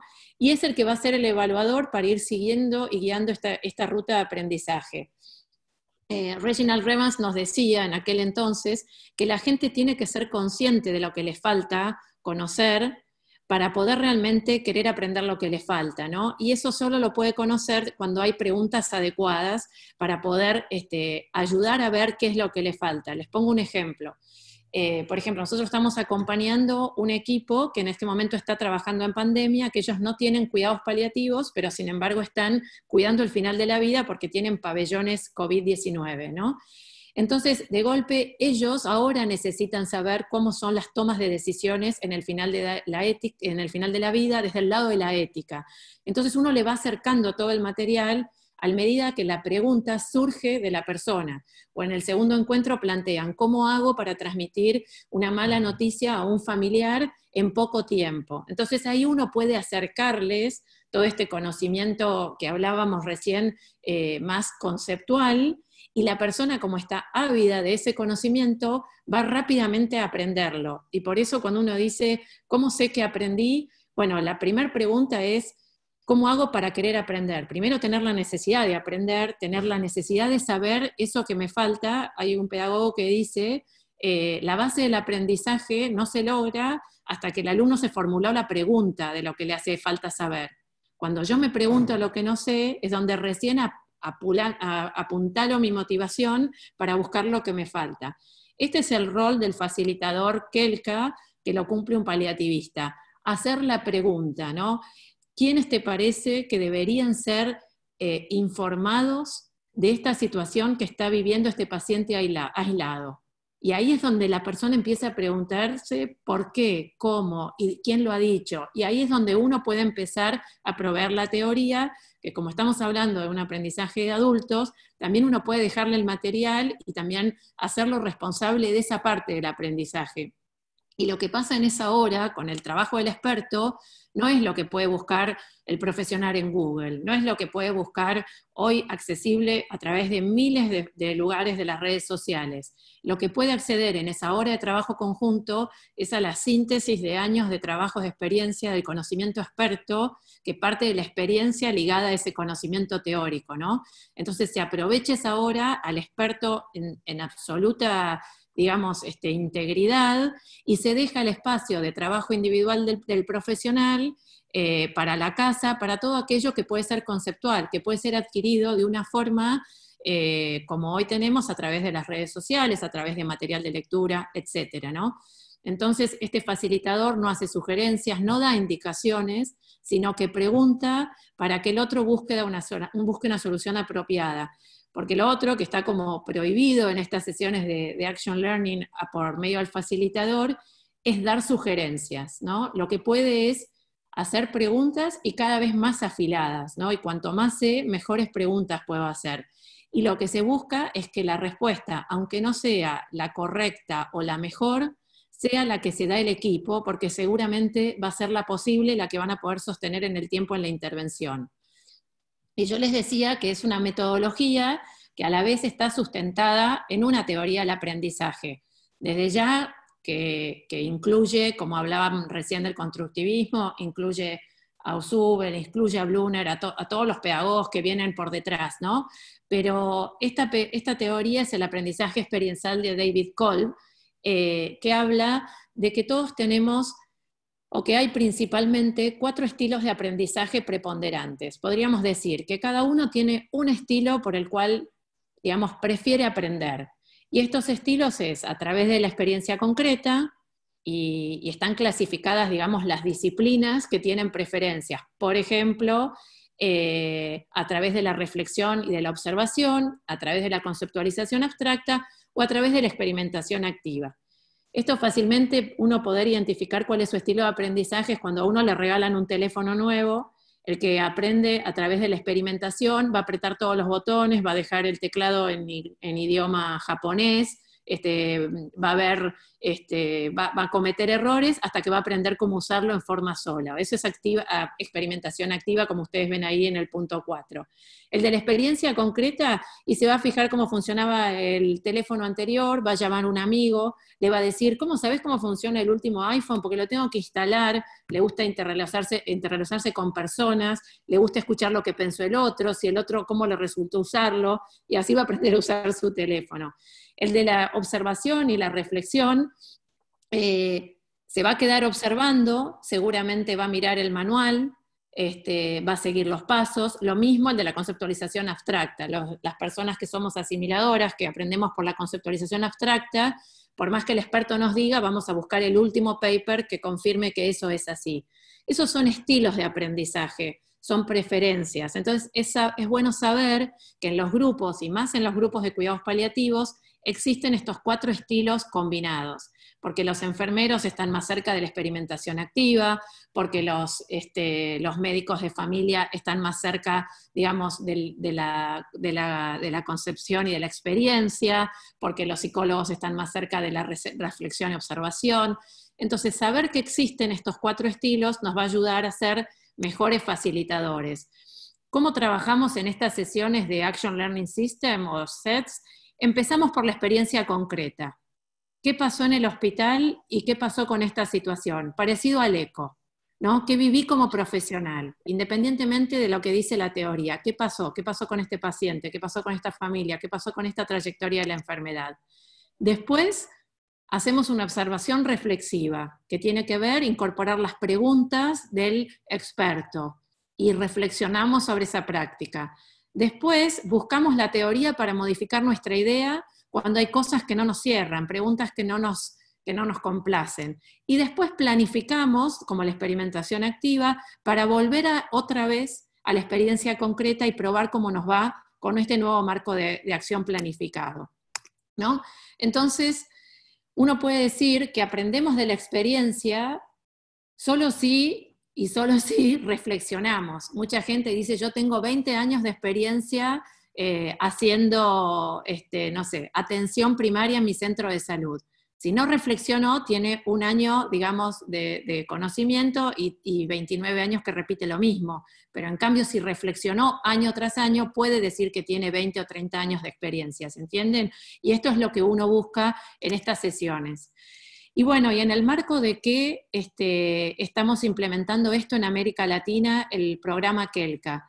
Este año nos, atacó el virus, la pandemia, y estamos necesitando eh, como satisfactoriamente o como oportunidad, los cuidados paliativos son requeridos y son necesarios en muchas instituciones donde no lo tienen. Entonces, esta pandemia nosotros como educadores paliativistas lo vemos como una oportunidad enorme porque hay una necesidad real. Recién hablábamos que la base del aprendizaje es tener la pregunta de lo que me falta para buscar lo que me hace falta saber. Bueno, hoy vemos que muchísimas instituciones se preguntan cómo trabajo el final de la vida, cómo trabajo el final de la vida con los niños, cómo trabajo el final de la vida con la familia del niño, cómo trabajo con esto que siempre lo tapé, que nunca lo vi, pero ahora lo necesito. Bueno, y ahí entran los cuidados paliativos, ¿no? Entonces, para esto yo les decía que hay una mirada pedagógica por detrás eh, y tiene que ver con una mirada, con, con la filosofía de la complejidad, del paradigma de la complejidad, ¿no? O sea, cuando nosotros educamos, eh, simplificamos para poder transmitir mejor, pero la realidad no deja de ser compleja por eso. Y este programa Kelka trata de abordar la complejidad con un paradigma diferente de educación también, ¿no? Y es un paradigma que va perfecto con los cuidados paliativos, porque ¿cómo miramos o cómo es nuestro abordaje? Todos los que seguramente están escuchando y son paliativistas saben que nosotros tenemos un abordaje multidimensional, total, complejo y consciente de la incompletud.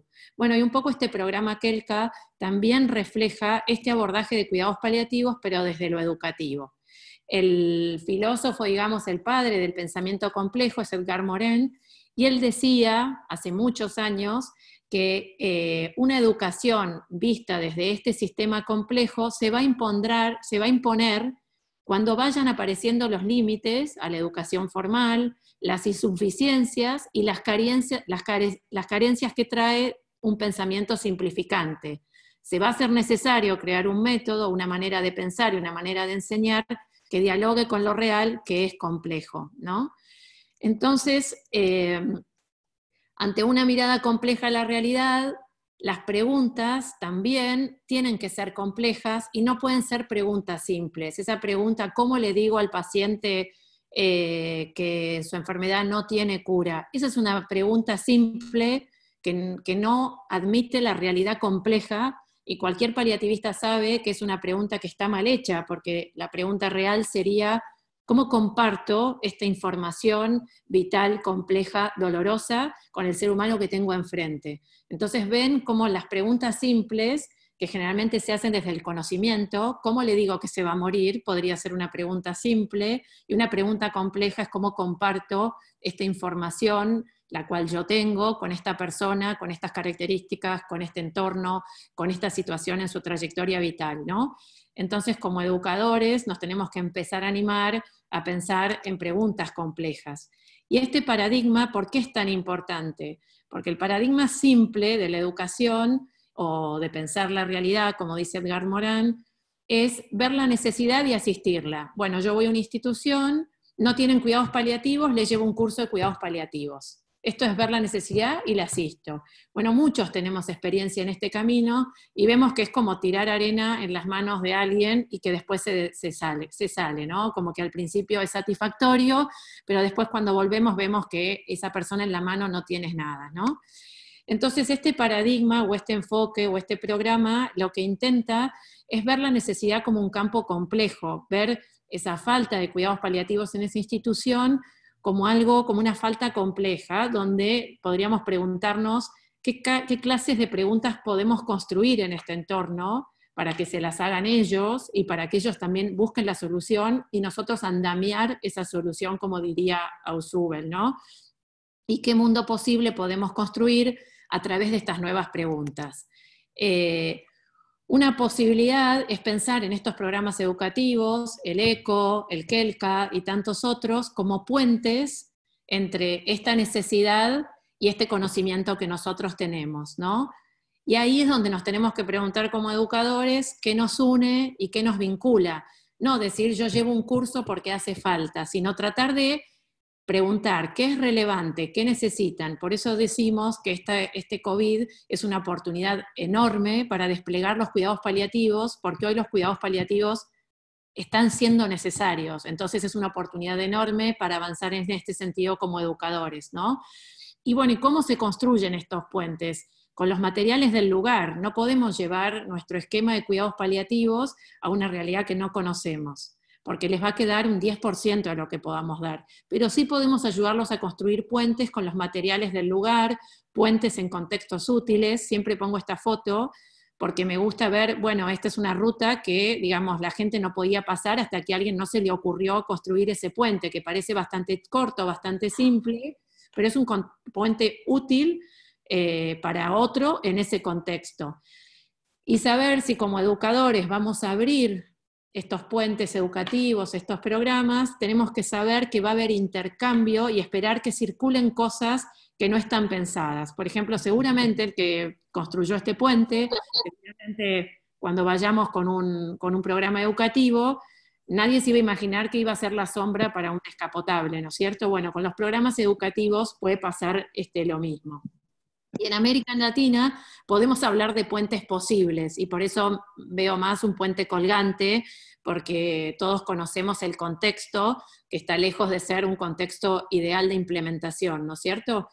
Entonces, para cerrar, simplemente eh, compartirles eh, uno de los puentes que estamos tejiendo ahora en el Hospital Muñiz de Buenos Aires. Es un curso de apoyo matricial, que es este curso KELCA, en el medio de la pandemia, ¿no? Eh, nos preguntamos qué nos une, qué es relevante, Y bueno, lo que ellos nos dijeron es, no tenemos equipo de cuidados paliativos, somos el, el hospital infeccioso de mayor importancia del país, nos están armando un pabellón entero de COVID para 300 camas y estamos preocupados porque no sabemos cómo atender el final de la vida porque estamos acostumbrados a otra cosa, ¿no?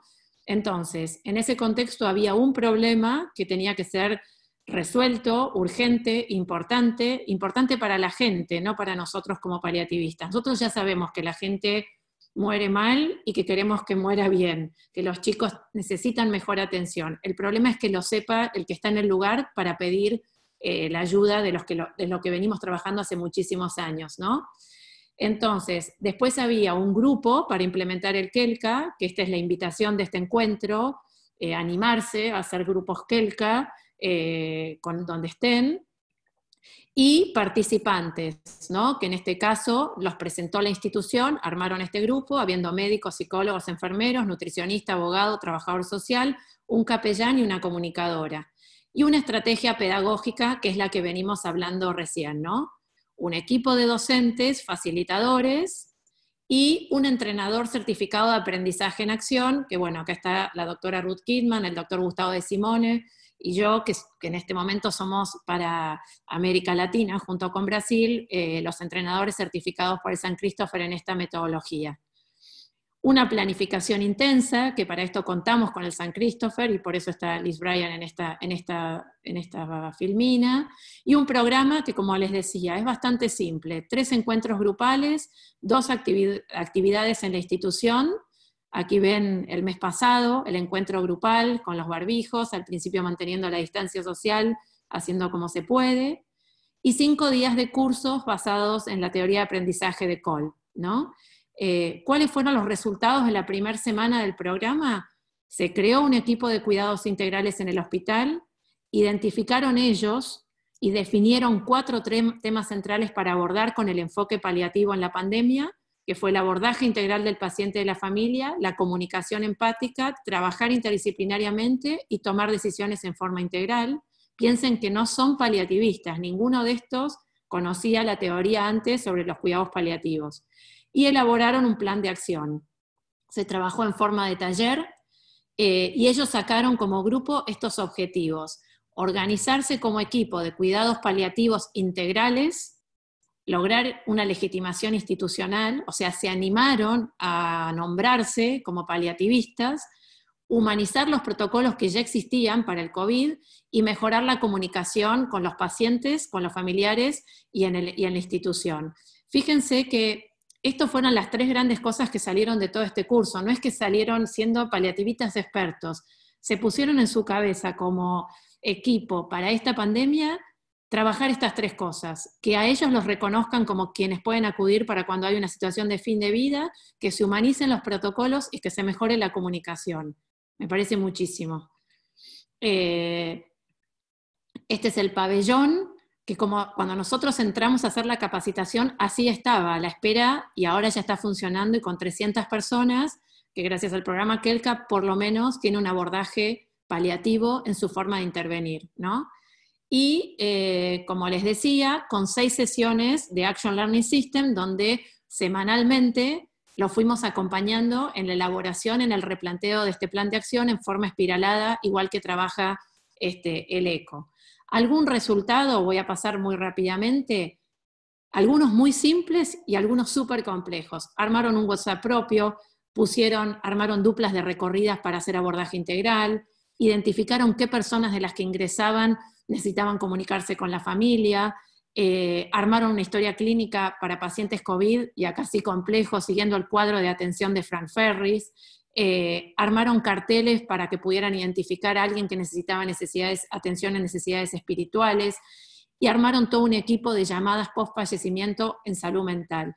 Todo esto en el transcurso de estos últimos dos meses, sin tener ningún profesional de cuidados paliativos adentro de esta institución. ¿no? Entonces, con esta metodología, con esta forma de preguntas, ¿no? ¿Qué? Entonces, ¿qué? ¿Y ahora qué? ¿No? Y hoy siguen con este ¿y ahora qué? Que es donde los seguimos acompañando con estas reuniones de Action Learning System, ¿no?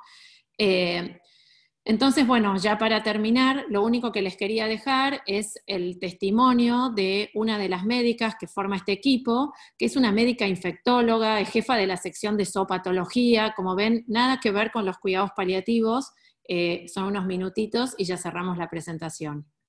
Hola, yo soy Susana, soy médica infectóloga, trabajo en un hospital de enfermedades infecciosas de la ciudad de Buenos Aires, en Argentina, y hace poco en el hospital recibimos una capacitación a través del programa KELCA. Esta capacitación fue brindada por eh, la organización Palium de nuestro país y también por eh, miembros de otro hospital de la ciudad de Buenos Aires. Eh, este programa de capacitación para mí fue eh, un antes y un después en lo que fue mi práctica profesional. Eh, me permitió ver la importancia de una etapa vital en la vida de las personas, que es el momento en el cual eh, se están yendo o están cerca de eh, la muerte, y la importancia que tiene estar capacitado en brindar asistencia en ese momento. Una asistencia que lo que trata es fundamentalmente de humanizar el final de la vida y a su vez también mirar a aquellas personas que están al alrededor de esa persona que está falleciendo, no solamente los familiares y las personas más allegadas o los amigos, sino los equipos de salud que están eh, colaborando o trabajando eh, en ese momento tan difícil de la persona que es el eh, final de la vida. La verdad me permitió poder humanizar algunos procesos de atención, poder mirar lo que las personas necesitan y poder también acompañar a los equipos tratantes. este programa me parece que es muy importante, es una da herramientas a todos los profesionales de la salud eh, para poder tener una mirada integral de la vida no solamente ver eh, la enfermedad y eh, la salud también de las personas, sino también ver ese momento tan especial que es eh, la muerte.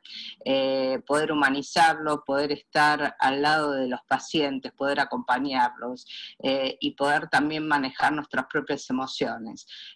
para mí fue muy importante, me parece que aparte nos va a permitir cambiar el trabajo diario en la institución, eh, ya nos ha permitido hacer un montón de cosas adentro del hospital en el contexto de esta pandemia de COVID y creo que para adelante va a ser un antes y un después eh, de, la atención médica adentro del hospital.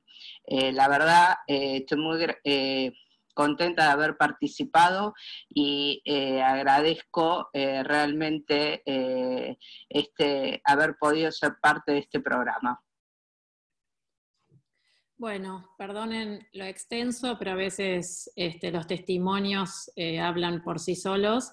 Y bueno, me parece que lo que intentábamos en este espacio es, digamos, unir las ciencias de la educación con la ciencia de la salud y los cuidados paliativos eh, para realmente llegar con cuidados de calidad en el final de la vida para todos. Bueno, muchísimas gracias a todos por la atención. Gracias de verdad por esta linda plática. Hemos tenido un aprendizaje muy grande y creo que más allá de eso nos ha motivado ahorita para eh, empezar a buscar más herramientas que se están dando y que se están abriendo en Latinoamérica para poder aprender. Y no solo nosotros como paliativistas, sino poder hacer proyectos en nuestras unidades, en nuestros centros, para que más gente pueda aprender de cuidados paliativos. Recuérdense que la educación no es solamente para padres y pacientes, como hablaba al principio, pero tampoco solamente para el equipo. También se necesita educar a los que están alrededor y los médicos que están en contacto y el personal de salud que se encuentra en contacto con nuestros pacientes, para que nuestros pacientes puedan ser bien atendidos. Recuérdense que los cuidados paliativos van a servirnos a nosotros también. Entonces, qué mejor que alguien que esté bien educado y si logramos educar a más médicos, a más personal, lograremos mejor un mejor servicio y un día podremos también nosotros si necesitamos cuidados paliativos una buena atención nosotros también,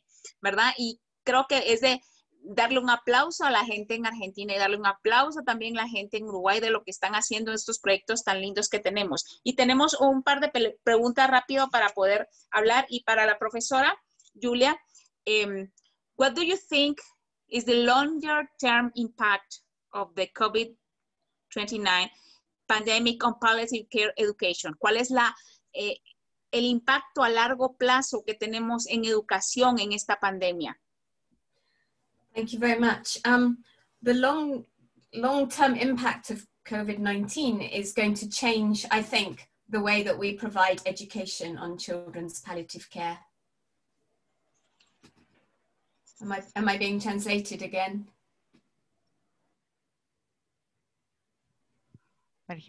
Lo que dice Julia es que justamente esta pandemia va a cambiar la forma en que estamos educando en cuidados paliativos.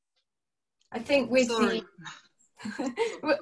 with more and more people using forums such as this, with the webinars, uh, we're going to have access to more education um, on children's palliative care. Con el sistema virtual del webinario vamos a tener cada vez más acceso a educación en cuidados paliativos. We're also going to be able to learn more from each other across the world in forums such as this.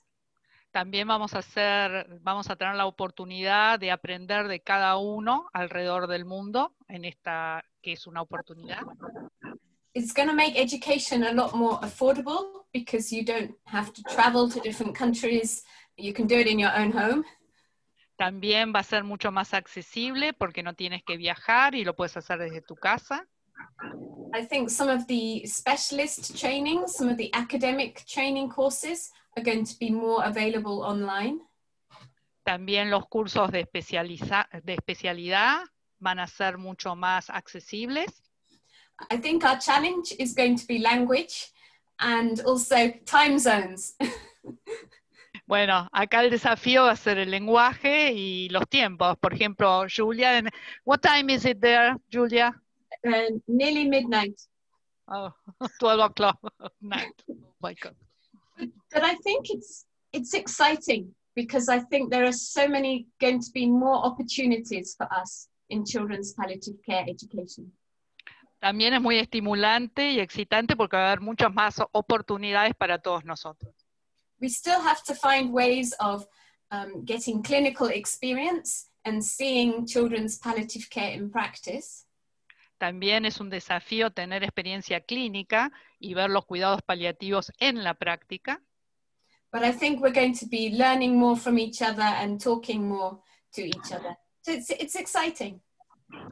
Pero vamos a tener la oportunidad de aprender de cada uno. Bueno, es muy desafiante y excitante.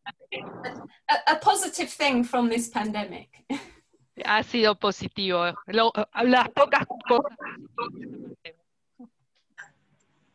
Sorry, sorry, Julia and, and Ruth. I thought that Marisol was taking the, as she translated the question. Sorry, Marisol. I can go on if you want.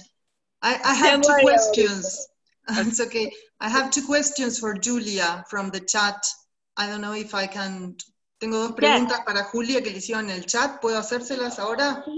Sí, seguro. Julia, for you, um, a question from, from a person from the chat. How many hours do you recommend for undergrad undergraduate training for doctors, nurses, and psychologists? And how many hours of training for doctors in primary level? Um, it's hard to say an exact number of hours because different universities um, organize their training in different ways. Es difícil dar una respuesta exacta porque diferentes organizaciones, diferentes universidades dan para diferentes públicos de, de diferentes formas también, como por eso es difícil dar una respuesta. Yes. If you look at some of the examples of undergraduate um, children's palliative care training, they are based around competencies rather than hours. Si uno mira algunos de los cursos para esta área, están basados más en competencias o adquirir las competencias más que en la cantidad de horas. And, and often in undergraduate training, it's not all taught together. Sometimes you will find that communication is taught in one part of the curriculum and pain management in another part. Y otra, algo, otra cosa, otro aspecto muy común es que no se enseña todo junto, se enseña por separado, por ejemplo, comunicación en un módulo y el manejo del dolor en otro. There are, there are various outline curriculum for undergraduate and postgraduate training that can be shared. Eh, se pueden compartir, ¿no? Este, hay como propuestas de, de los currículos, de la, de la currícula de los programas, tanto de, de, pregrado como de posgrado, que en realidad se pueden compartir. And there's also several tools that help you look at an undergraduate program and identify what is already being taught, what is missing, um, to make sure that it is all covered. Y también hay herramientas que permiten mirar esa currícula, por ejemplo, para, para los cursos graduados y ver qué es lo que falta, qué es lo que se necesita implementar para que todo esté cubierto. But I, I know in four different universities, they have different number of hours, um, but they make sure that the competencies are included. Ella conoce cuatro ejemplos de cuatro universidades este, que, que, en realidad tienen diferentes carga horaria, pero bueno, se basan en esto que dijo al principio, ¿no? más en la adquisición de, de las competencias que, que, que, en las horas, pero se aseguran de que toda la temática esté quede cubierta. So each, each university is different. So. Cada universidad es diferente, así que, ok, thank you, Julia. Another question. Is there any special model for the assess assessment of the quality of programs that you recommend? For the assessment of the quality of education programs or? Yes, yes, yes, evaluation assessment of the quality of, of programs, yes, education programs, I assume it was that, um, that you recommend. I think there are different ways of assessing um, education programs. I'm trying to think of any specific models. Um, I, I, can't think of a specific model, but if you think about the different components of an education program, so um, the, the, knowledge, um, attitudes, mm-hmm. our, our, skills um, as clinicians, Um, Ahí está. Es, es, difícil encontrar un módulo, un modelo, perdón, específico, pero uno puede ir pensando en, bueno, en evaluar el conocimiento, las habilidades. Uh, what else you said? Knowledge. Um, um, our skills that we give. habilidades. Uh -huh. habilidades que uno necesita como clínicos para, para ejercer en el área. So so looking at some of the different aspects that we want to assess um, entonces mirando los diferentes aspectos que uno quiere evaluar. Also things around confidence um, how how confident does the student feel? Um, how well supported do they feel? Um, algo muy importante también es el tema de la confianza o sea cuán, eh, con cuánta confianza se siente el, el, el estudiante and the, the, last part, eh, ah, que si se sienten apoyados por el, por el equipo docente.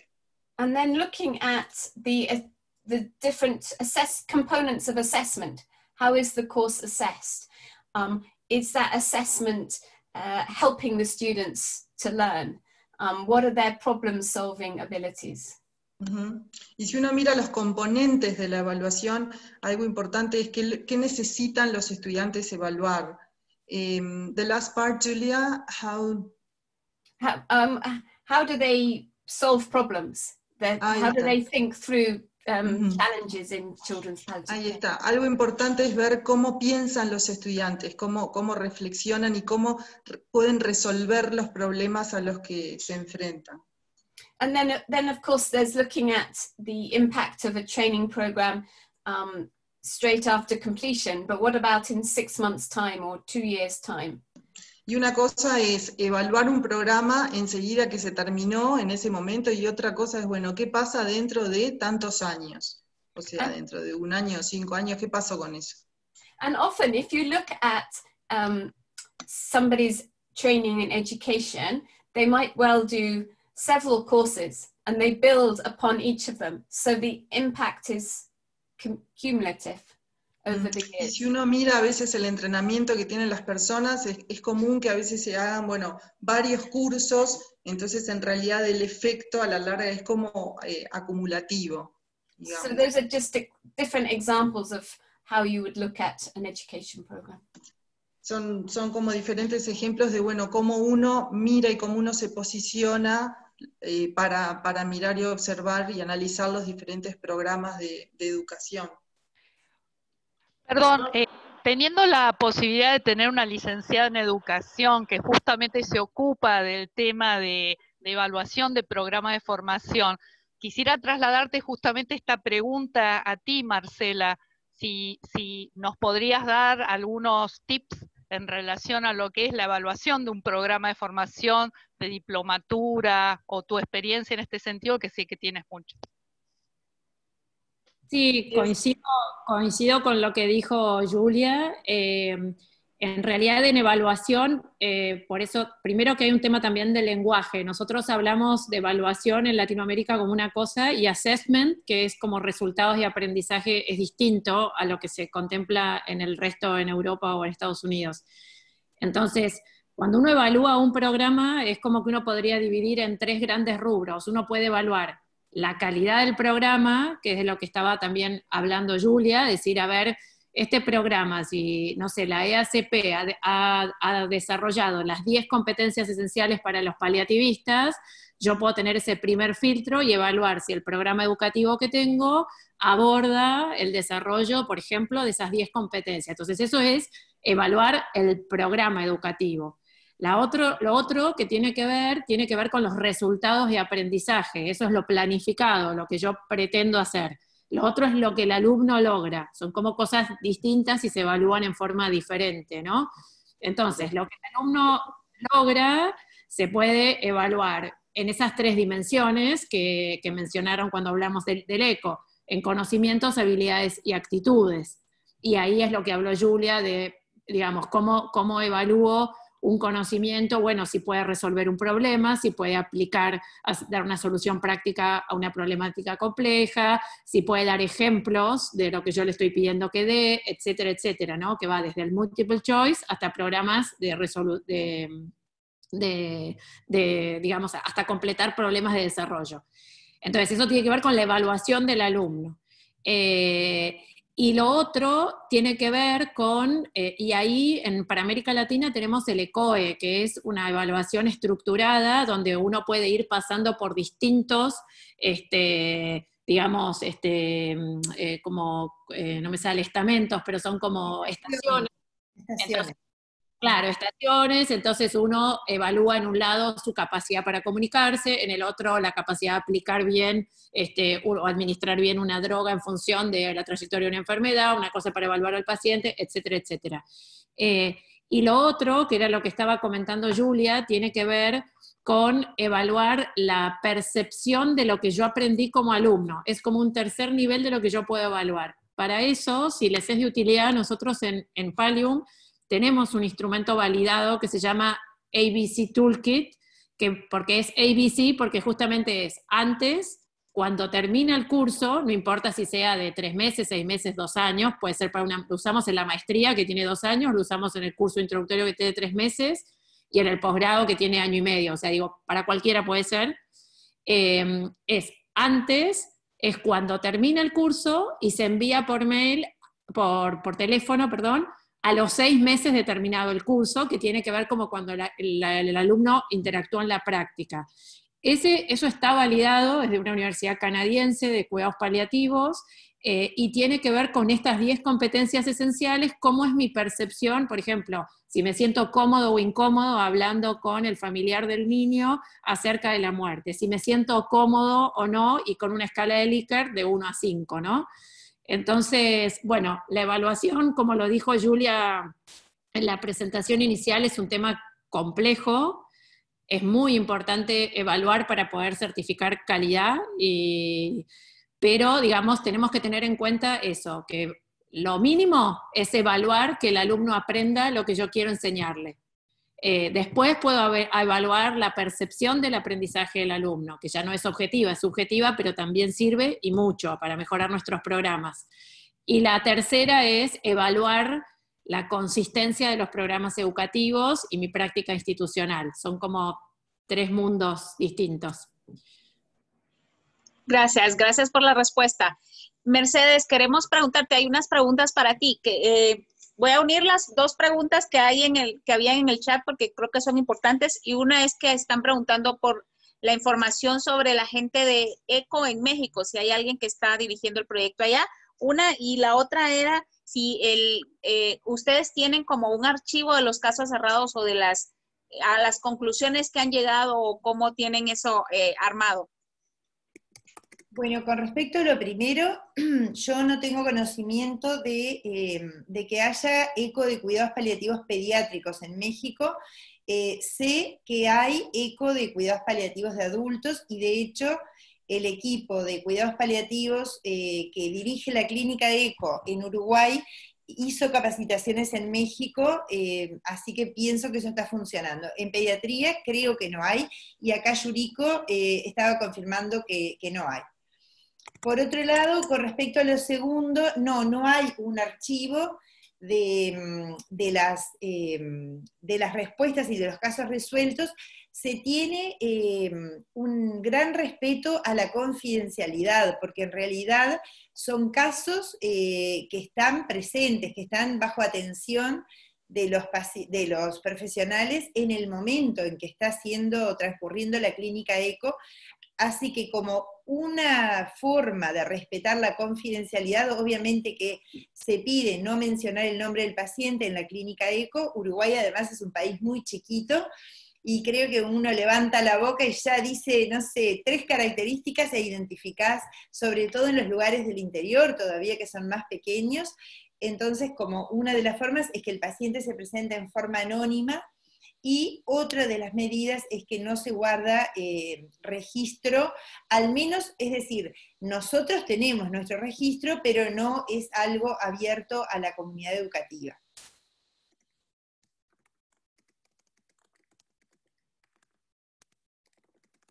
Eh, Marisol está silenciada. Está mutada, más.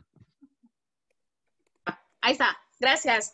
El, eh, la última pregunta era, ¿el proyecto ECO es solo para profesionales que ya tienen experiencia en cuidados paliativos o más gente que no tiene experiencia puede, puede acceder?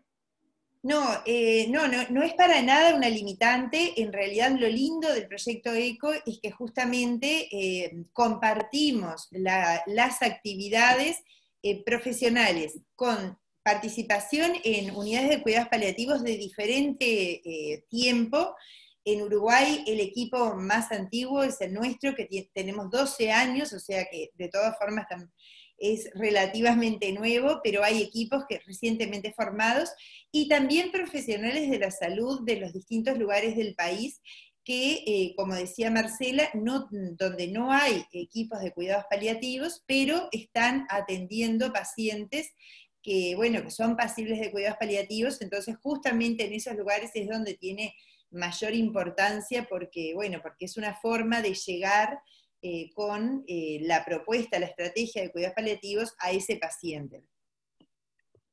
Y eh, otra cosa que, también está muy buena de esto es que permite eh, establecer una red eh, entre los profesionales que incluso perdura más allá del momento de la clínica, que es una hora y media una vez al mes.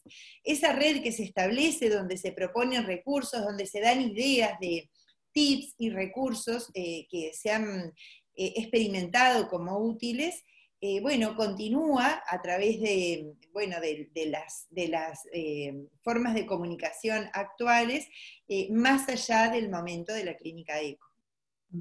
Es importante, Mercedes, lo que decís de la red, porque en el programa KELCA pasa algo muy similar, que ustedes tengan en cuenta que no son paliativistas a los que uno forma. Entonces, por ejemplo, ahora en este caso, nosotros todos los webinars de la LSP o como uno queda en contacto con el celular, ellos entre sí, de repente ellos en la semana estaban preguntando toma de decisiones. Y uno tiene a mano el webinar que le llegó de la asociación y lo envía automáticamente a esa persona, por ejemplo, está Susana, decir, Susana, podés eh, circular porque es como abrir el grupo de paliativos a la comunidad que no lo es y no tiene acceso porque ni sabe que existen, ¿no?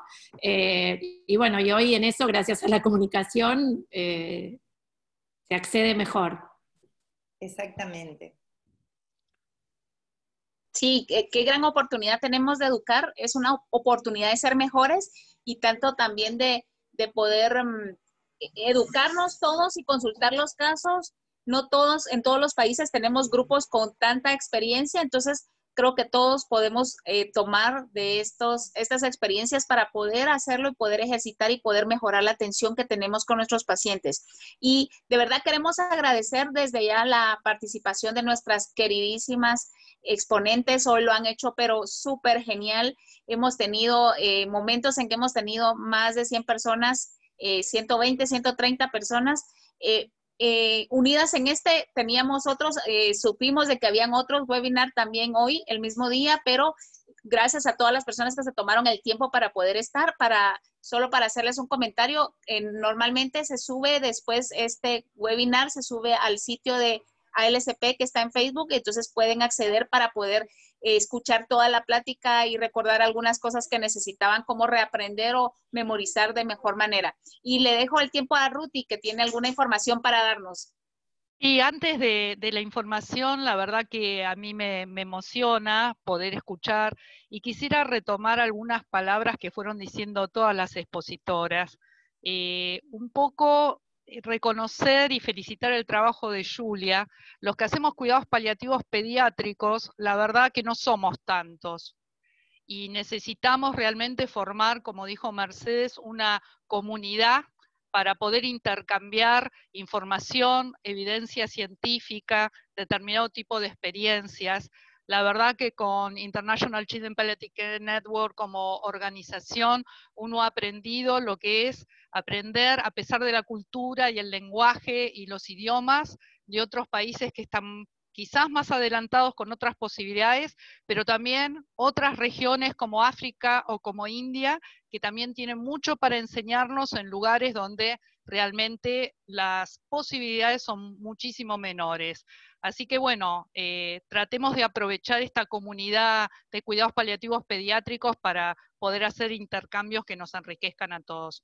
Los esperamos el próximo miércoles 28 de octubre con un nuevo webinar que va a tener un título eh, provocador, que es Los otros del equipo de cuidados paliativos. ¿Quiénes son los otros? Los que no son los médicos, los que no son los psicólogos, los que no son los trabajadores sociales? ¿Quiénes son los otros que son tan importantes como Gabriel, que lo estoy viendo que eh, prendió la pantalla, eh, que es musicoterapeuta? ¿Quiénes son los otros importantes en el equipo de cuidados paliativos pediátricos? Muchas gracias, Marigel, por haber hecho la traducción. Muchas gracias, Julia, por haberte quedado despierta hasta, hasta ahora. Eh, I hope you sleep well now. Gracias, Mercedes. Gracias, Marcela y a todos los Gracias, gracias a ustedes. Thank you, Julia. Thank you, everyone. Gracias a todos. Gracias. Nos vemos el otro mes. Chao. Gracias. Chao.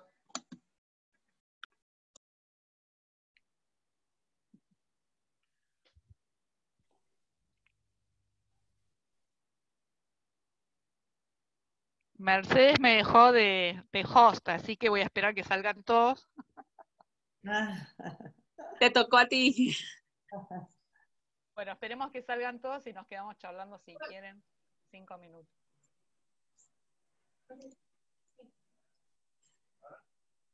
Ahí está Ezequiel. Mira. Saludos, Claudia.